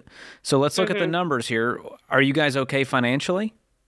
Um, for the most part, yes. Do you have I- debt? I, I, um, just like the the house, and uh, we don't have car. We we don't have car debt. Um, credit cards we do have. Um, I have a f- like two credit cards. Um, not too not nothing too crazy. Maximum maybe like three thousand in Are you carrying a Um, balance? you have credit card debt that you're carrying? Yes. How much? Well, like two two thousand change. You know, I just recently got the credit card, so of course during the holiday, you know. Well, the best thing you can do when this is just kind of the warning sign is to cut them up because Mhm. if you have a reduction in income, the last thing you need is payments to Yeah. lenders. And so I would get rid of these cards, pay them off. Do you have money in the bank right now? Not really. I tried starting like a savings account. I've always been very bad about financials, like very. I've always like counted pennies because I've always been, for the most part, a single mom. So obviously now it's different. He actually, on the other hand, he's very good with finances and savings and you know numbers. He's like a numbers man. Okay, so hold on, Um, hold on a second. Let's slow down for a minute. And I, and I Mhm. appreciate we're asking about your money, but you called to say, what are we going to do if he gets laid off? The point is, Mhm. is number one, George will help you. You need to get disciplined with money. We're going to give you some resources so Mhm. that you two get on the same page. I'm glad he's good with money. You need to let him lead in that way. Let him model for it. Say, hey, I'm in. Mhm. Okay, I want to do the things the way that you do things. All right, that's a start. But the, the reality is, is that he makes X amount of dollars. How much does he make? Close to thirty. Thirty thousand dollars. And what does he do? No, no, close. Well, close to thirty dollars the hour. Oh, thirty dollars Okay. an hour. Well, so we'll call that about 60 grand That's a about- year? yeah. So what does he do? Um, do I really have to share that? No. But but but Okay. I'm, you don't have to. I was just simply trying to say. I said to you, my first thing was he needs to start looking for jobs, looking for work that he does now, Mhm. that he's got some Mhm. actual experience in and some skill. Your your first response was, well, he already makes more than he would anywhere else, and that's Mhm. not the mindset. I mean, he needs to be looking right now. He doesn't want to not have an exit strategy. You know, when we go on airplanes, and they tell us in case of a water landing or a crash or whatever, we got to exit here, exit here, exit here. That's what I'm trying to explain to you. He needs, he's got a month and a half lead time in a worst case scenario. He may not get Mhm. laid off at all, but he's got a month and a half. And so Mhm. I, I'll give it back to George to help you on the money stuff. But I want to make sure you, you're going back to him going, hey, you start looking out. I can start looking for you, with you. We're looking for opportunities that may be available now. Start the interviewing process. And then if he gets a couple of job offers, if they're good, he can go back to these guys and go, hey, guys, I got a couple offers. New management, do mm-hmm. you want me here? I mean, he's got some leverage. So let's go find some opportunities and exit strategy. Okay. So that's the career side, Jennifer. The financial side, the best thing you can do in case this happens and in case any emergency happens is having no debt and a bunch of cash in the bank. And so that is your A1 over the next 45 days is to get rid of all consumer debt and start saving up money in savings, which means we're not going to go out to eat. We're not going to go on our shopping sprees to Target or wherever your favorite place is. We are getting really serious right now. We're in a storm. Okay. And so, how much debt do you have outside of those two credit? You said you have two thousand in credit card debt. Anything else? Mm, Yeah, uh, well, that's that's my credit card. Um, you know, the other credit card that we mostly pay like some of the bills um, with is about anywhere between. You said he's good with money. 15,000. If he's racking up credit card debt, he ain't good with money. And so let's cut up these cards. And by the way, it's our money, it's our credit cards. Let's get on a plan together. It's not he's good and I'm bad and we're just doing our own thing. We're going to send you one year of Financial Peace University so that you guys can get on the same page, create shared values, goals, common language, and you will get through this layoff if you do what Ken said and jump to a different career. Thank you so much for the call. It's time to get serious. Prepare always for a storm. The best way to do that is to be safe and have peace with your money. This is The Ramsey Show.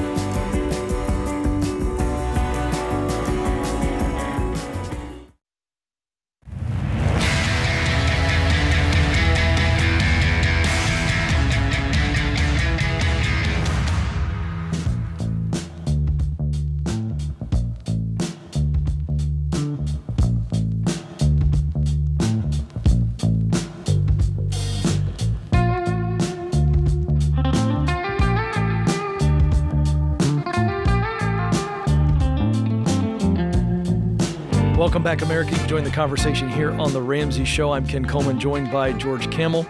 888-825-5225 is the number.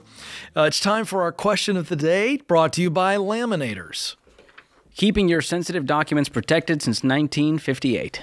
Gotta love a laminator. Yeah. I love You ever use used the one here in the break room? As a matter of fact, yeah. Nothing Uh, gives me more joy the than laminating. documents that I go to often on the Ken Coleman Show are, in fact, laminated. Love it. Our question comes from Brandy in Colorado. She says, I'm 42 and a single mom of a 16 year old. I had to withdraw all of my retirement to help cover unexpected medical expenses. I'm a renter, no retirement savings now, and live paycheck to paycheck. I just received two job offers and I don't know what to pick. Option one, full time working for the federal government with awesome retirement and benefits with an annual salary of 57000 Option two, full-time corporate job with an annual salary of 100,000 and a 401k with a match of 3%. Should I accept the higher paying job to help me pay off the 10k in credit card, 20k car, and 2000 monthly rent in Colorado, or should I choose the federal government job with stability and good retirement? I would like to be debt free in three years so I can move to another state where cost of living is more reasonable and I can purchase a condo or townhome for myself. Well, Brandy, thank you for the easiest question of the day that I've No-brainer. ever had to answer. It's absolutely number two, and it's not even close. I think the word here in your two questions that's got you hung up on this, because this is so obvious to George and I to take the corporate job where you're making almost double, and that doesn't even include potential raises over the next couple of years uh, and the match of the 401k. But the word, George, in this question that's got her and other people, they kind of get stuck on this. Can I guess it? Yeah, go for it. Stability. You nailed it. They think, well, it's a government job. So the government's always going to be here, and there's no way they're going to lay me off. And that, first of all, that's just not true. So uh, it's absolutely number two. Take the full time corporate job with the higher salary, opportunity to get raises beyond that, and the 401k with a match of 3%. You're going to pay off that debt in no time. Yeah, what I'm looking no at time. here, you've got 30k in consumer debt. If you take this job for 100k, that's 43 more than the other job would have paid. And you said it's going to take you three years. Mm-mm. Making 100k, you can pay off 30k in one year. And by the way, you're still going to be making $43,000 more every single year, that Yeah. corporate job, probably with more upward mobility to make even more. Yes, Yes. And let me just say this. I there listen, government work, there are good people that listen to this program, watch this program, and you are in government work. But this idea that it's so much more stable is a complete myth. And you just don't have the opportunity for growth. That I know.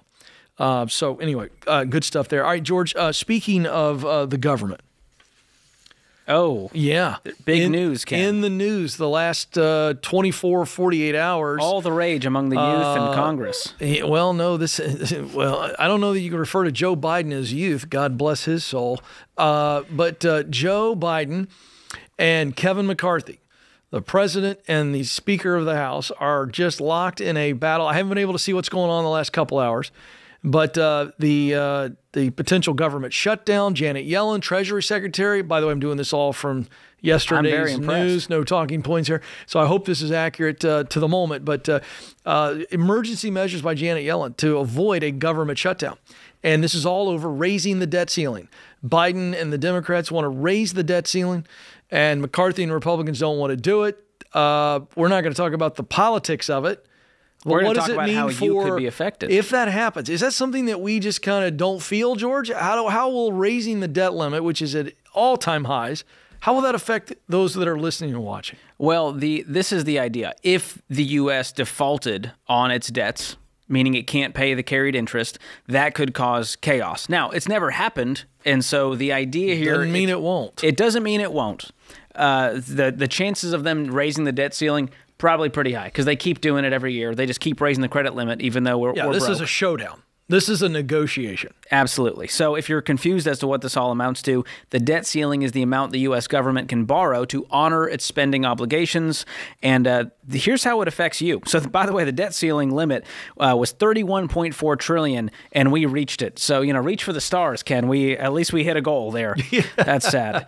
And so here's the the few ways you could be impacted, America, by the debt ceiling crisis. Number one is the stock market. The stock market does not like uncertainty, and defaulting on our debts would cause the stock market to plunge.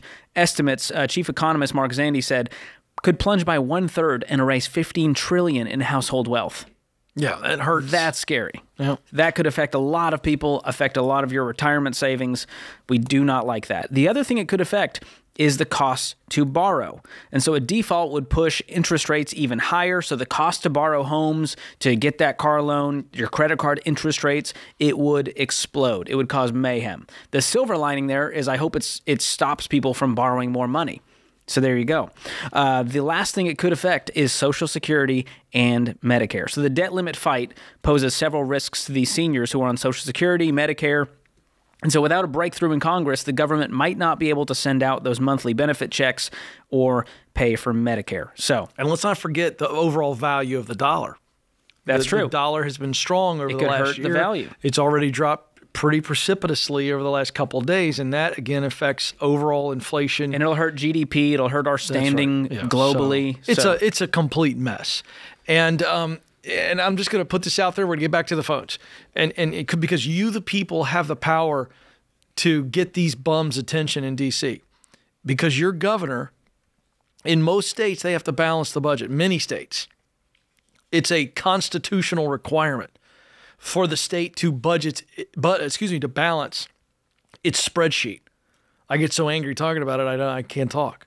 Well, you But know, it, it, we don't have a balanced budget amendment to the U.S. Constitution. and you know, Ken, we're around here. We're very fiscally conservative, and uh, Congress historically. Wouldn't you love to see Dave not- Ramsey go to Washington for about 30 days, lock all of them in a room? They only get bathroom breaks and, and food breaks. I would pay to watch that on C-SPAN. And Dave do takes his. Dave takes his just his good old fashioned budget the old kitchen table, Yep. sits in the middle of the room, Yellow pad. and he just starts going through it, and he would absolutely balance the budget.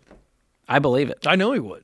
I'm not kidding you. I mean, he really could. Would Dave darken the doors No. of that building? That's No. the question. No, no. I don't think no he has any interest. He wouldn't last 30 minutes up there, much less 30 days that it would take. Mm. But uh, there you go.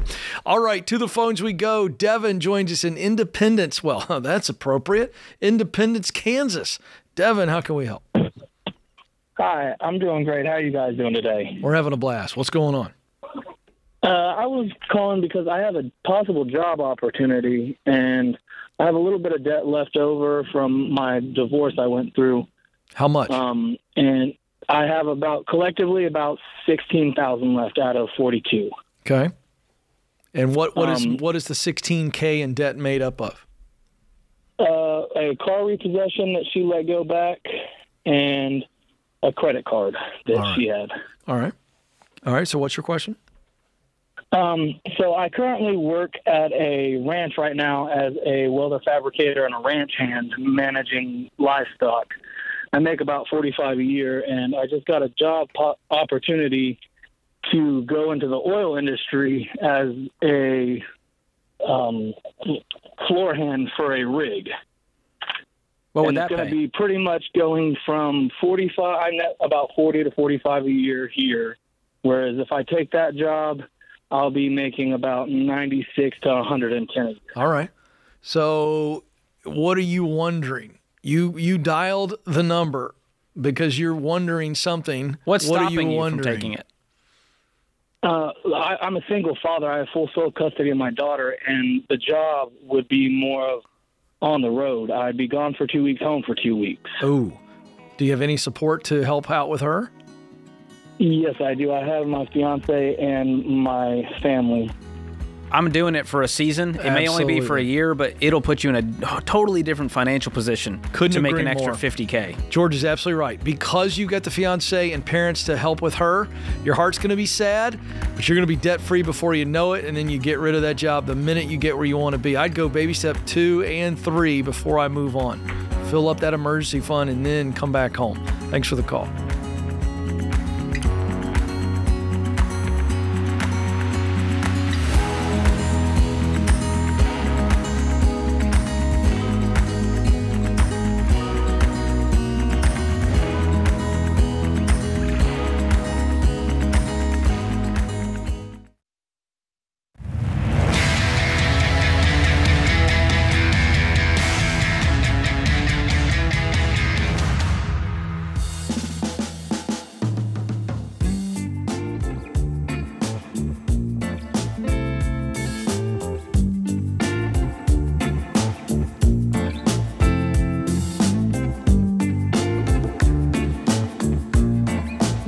Back to the Ramsey Show. I'm Ken Coleman. I'm joined by my colleague George Kamel. That's with a K, by the way.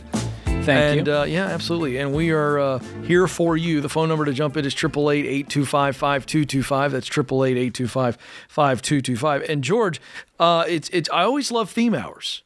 Uh, Big fan of here on the Big Show. And uh, we've got a theme hour coming up. Tell That's us. right. So, uh, Dave Ramsey and myself will be hosting an EntreLeadership theme hour. And if you don't know what EntreLeadership is, it's really Dave's teaching on business and leadership, how he built this place from a card table in his living room to the empire we see today. There's the best selling book, EntreLeadership, that he wrote uh, a decade ago. And there's also the podcast that I've been hosting for the last year and a half. And we love helping small business owners out there. So if you have a business or leadership question, please email ask at ramseysolutions.com and put EntreLeadership in the subject line. And our team will get in touch with you to schedule a call so that you can chat with Dave Ramsey and myself very soon. That is ask at ramseysolutions.com. Put EntreLeadership in the subject line, and we'll talk business and leadership. All right, there it is. Denver, Colorado is where Katie is hanging out. Katie, how can we help? Hi. Um, so my question is, my husband and I are on step two, and I am confused as how to approach that step if our budget is already using every cent. Okay, so you are are you using EveryDollar or a different method? Yes. Yep. No, we use EveryDollar. We just signed up for the financial peace course through our church. Oh, awesome. And um, we already had a slight savings, so we bypassed step one. Okay. Um, So when you say so your your income is moving on to- allocated, it's every dollar's got a job. We love that. Are you? Do you have your minimum payments for each debt listed in your budget?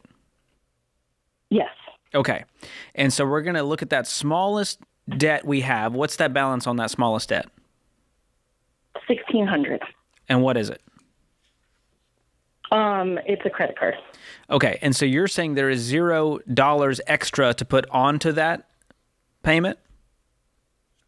As of right now, we did our first budget meeting this past weekend, and yes, Okay. So there's nothing that you can cut.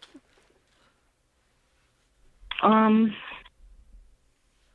I'm. I mean, I don't know. As It was of a right trick now, question. I Ken wasn't. I wasn't trying to be tricky. So, Katie, what you're really saying is there's no margin to attack this smallest debt. And so we're going to create that margin in your budget. You're not going to magically find it. And the way you do that is two ways you spend less or you make more. And I suggest you do both. So, what is your take home pay Okay. that you're using in the budget?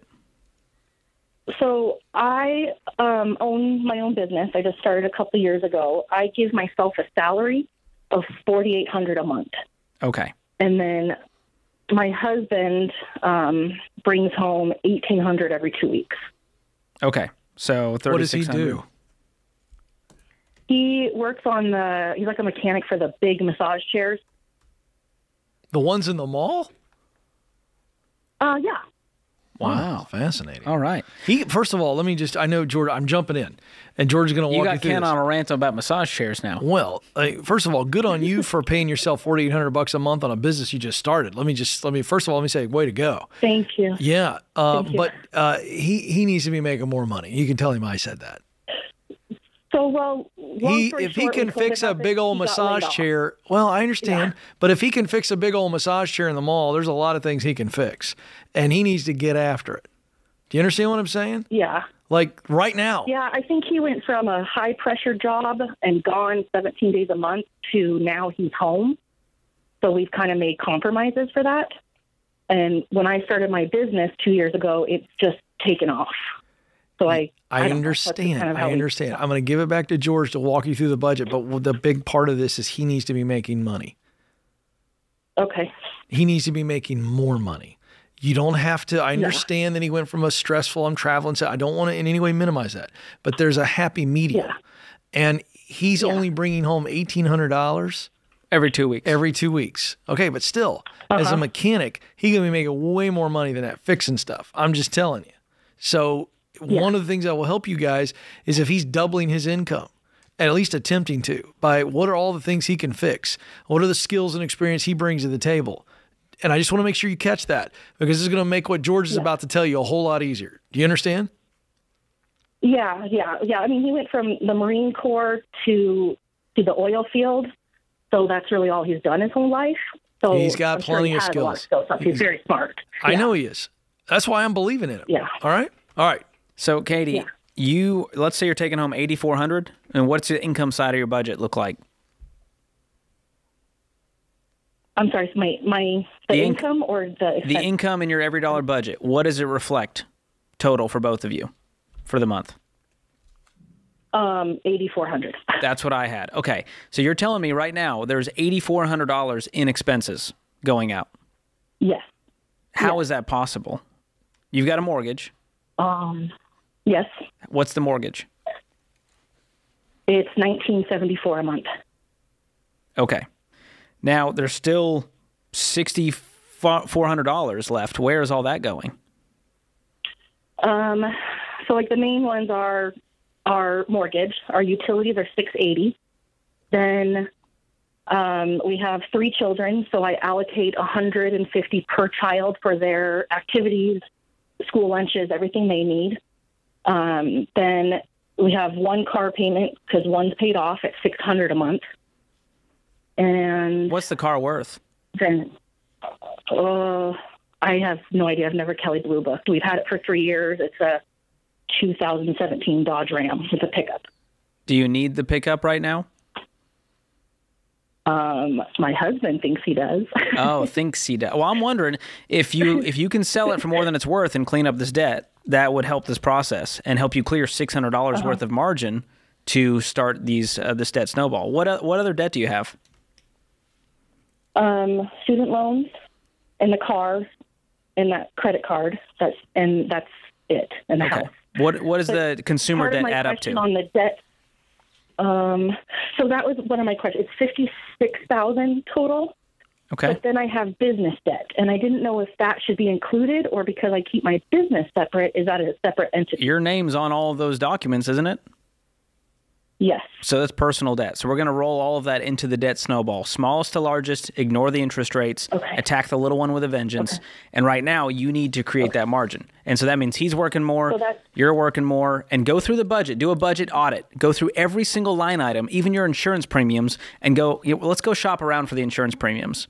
And we're not eating out right now while we're doing that. So we're grocery shopping. We might switch grocery stores, buy the generic brands, start to look at every single item and go, how can I get this down by 20%, 30%, 50% to create a few extra hundred bucks to throw at the debt?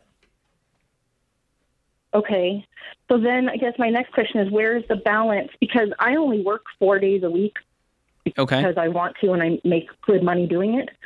Um, but then if I work an extra day, I could bring home another eighteen hundred a month. Heck yes. but then I don't have time with my children. Oh, for heaven's sakes. Do they know? That's not true. That is not true. Well, What do they do in the days you're working? Um, Are they at school? two of them are. So I have a fourteen-year-old, twelve-year-old, and a four-year-old. My Well, first of all- home on the days that I'm home. First of all, your 14 year old and 12 year old don't want to be around you as much as you think they do. Trust me, I got three teenagers. Come on. Yeah. Yeah, that has nothing Yeah. to do with you. That's just called they're just weird humans at that Yeah. age. Um, so that's Yeah. one thing. Secondly, I appreciate what you're saying, but this is for a season, number one. Number 2 Mm-hmm. you said if I work another day, I don't see him at all. That's not good math. You know that's not true. You will see him. Yeah. I mean, most parents are working five days a week, 40 hours a week, anyways, with commutes. And Yeah. so I don't, I Yeah. don't see this as you being away from your kids um, much more than the average person, and it's worth it because if you do that, that cuts down your debt-free time. Now it's down by six months. Get and so once you after it. start doing the debt snowball calculator, you're going to get addicted. You're going to get excited. You need to get your husband on board with this to where he's going, let's sell the truck, honey. I, c- we can be debt-free six months faster if I sell the truck. Let's go. Mm-hmm. And then you're hanging out with the kids way more because you've got time, you've got options, you've got freedom, you've got margin. That's the goal with this plan. Yeah. It's doable only if you two come together and go, let's get after it for a short season, super intense. On the other side of it, life is peaceful. It's better than it's ever been before. Thank you for the call. Don't move. More of your calls right around the corner. This is The Ramsey Show.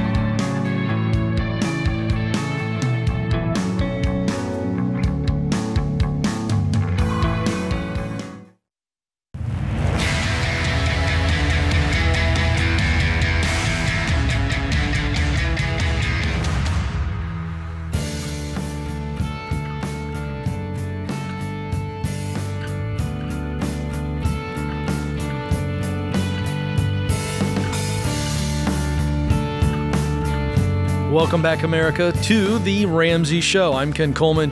George Kamel joins me this hour. The phone number to jump in is 888 825 5225. Our scripture of the day comes from Colossians 4 2. Devote yourselves to prayer, keeping alert in it with an attitude of thanksgiving. Our quote is from Tony Dungy. Even though we can't always choose our circumstances, we can always choose our attitude in the circumstances. Uh, the, this weekend in the Ramsey newsletter, we've got an article about how uh, marketing offers and one-time deals could be money traps. Well, that feels like George Kamel inspired content Right up my alley. there. Uh, while these big promotions may sound like a good way to save money in the moment, the word free is very tempting. It's most likely a money trap. Say it's not so, George. Oh, it's so, Ken. Some money traps may be more obvious than others, like timeshares, but some traps may be a bit more sneaky, like no money down plans.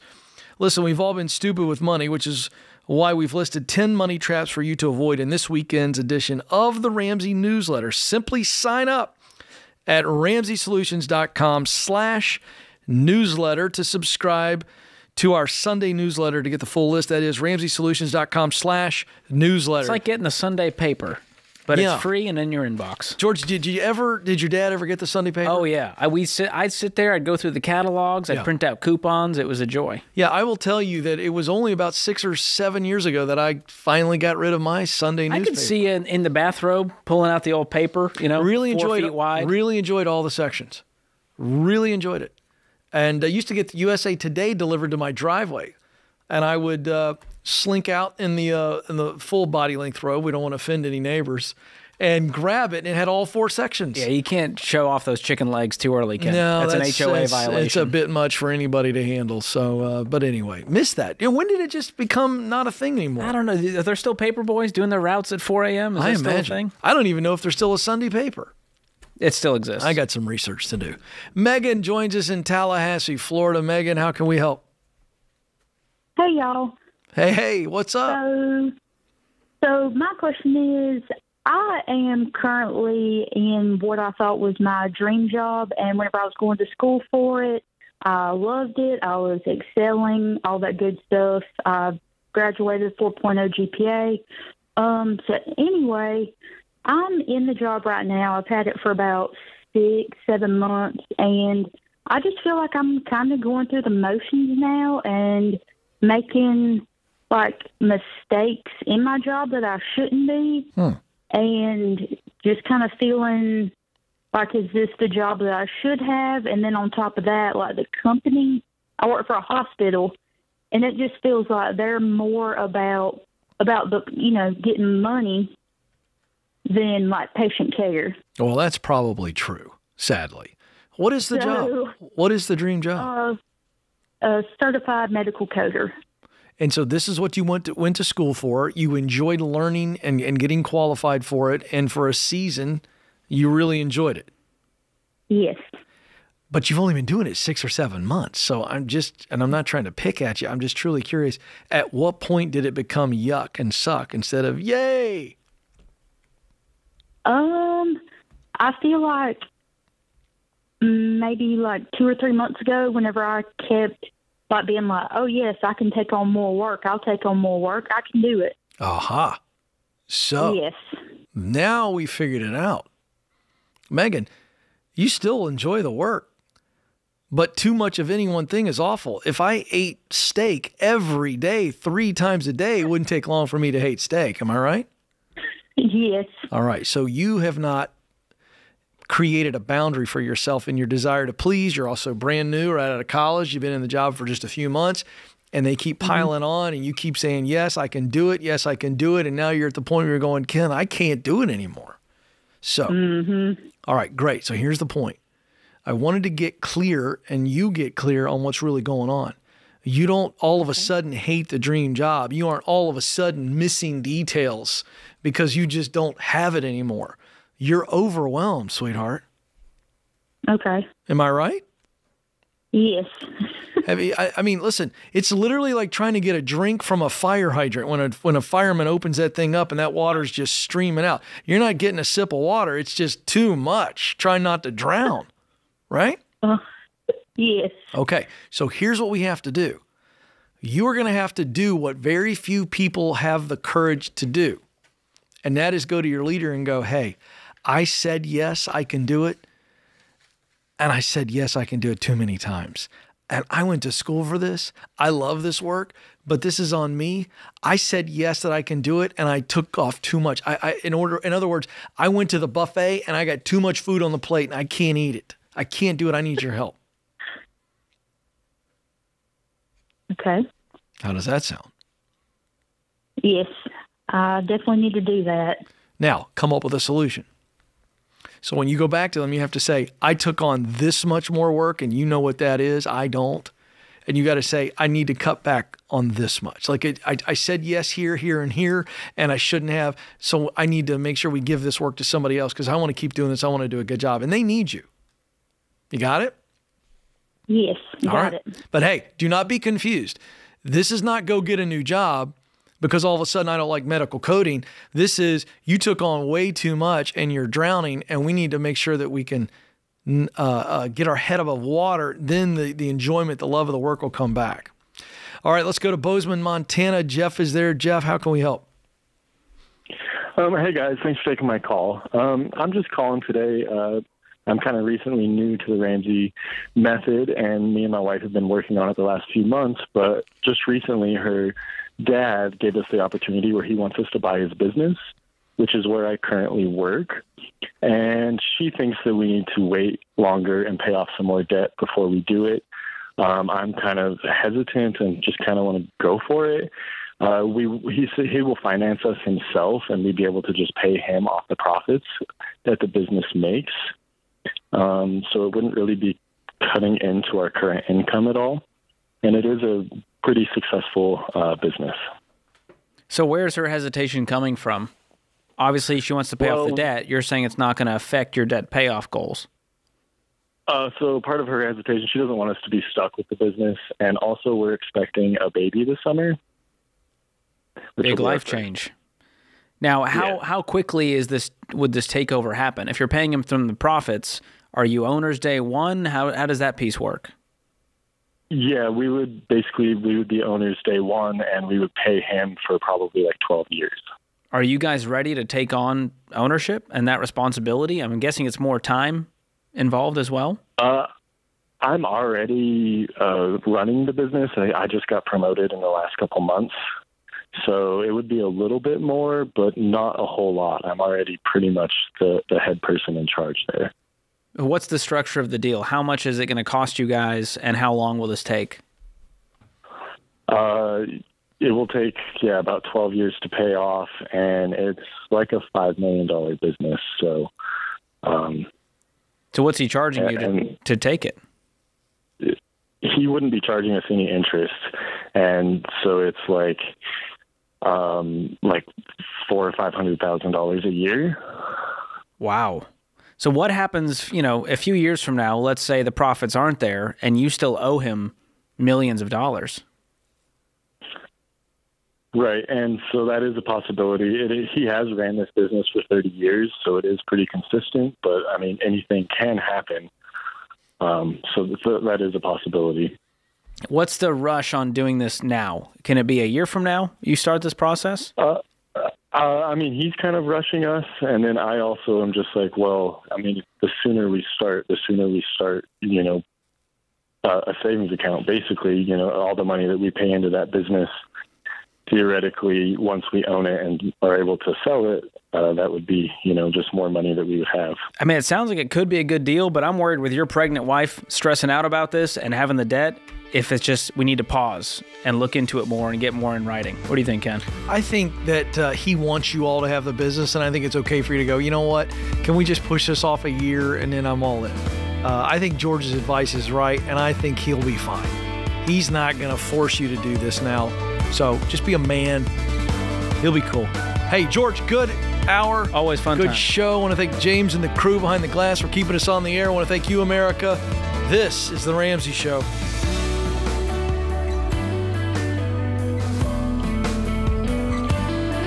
Hey, it's George Kamel. If you like what you heard in this episode and want to know more about getting started on the Ramsey baby steps, go to ramseysolutions.com and click on the Get Started button. We'll help you figure out the best next step for you based on your specific situation. That's ramseysolutions.com and click Get Started.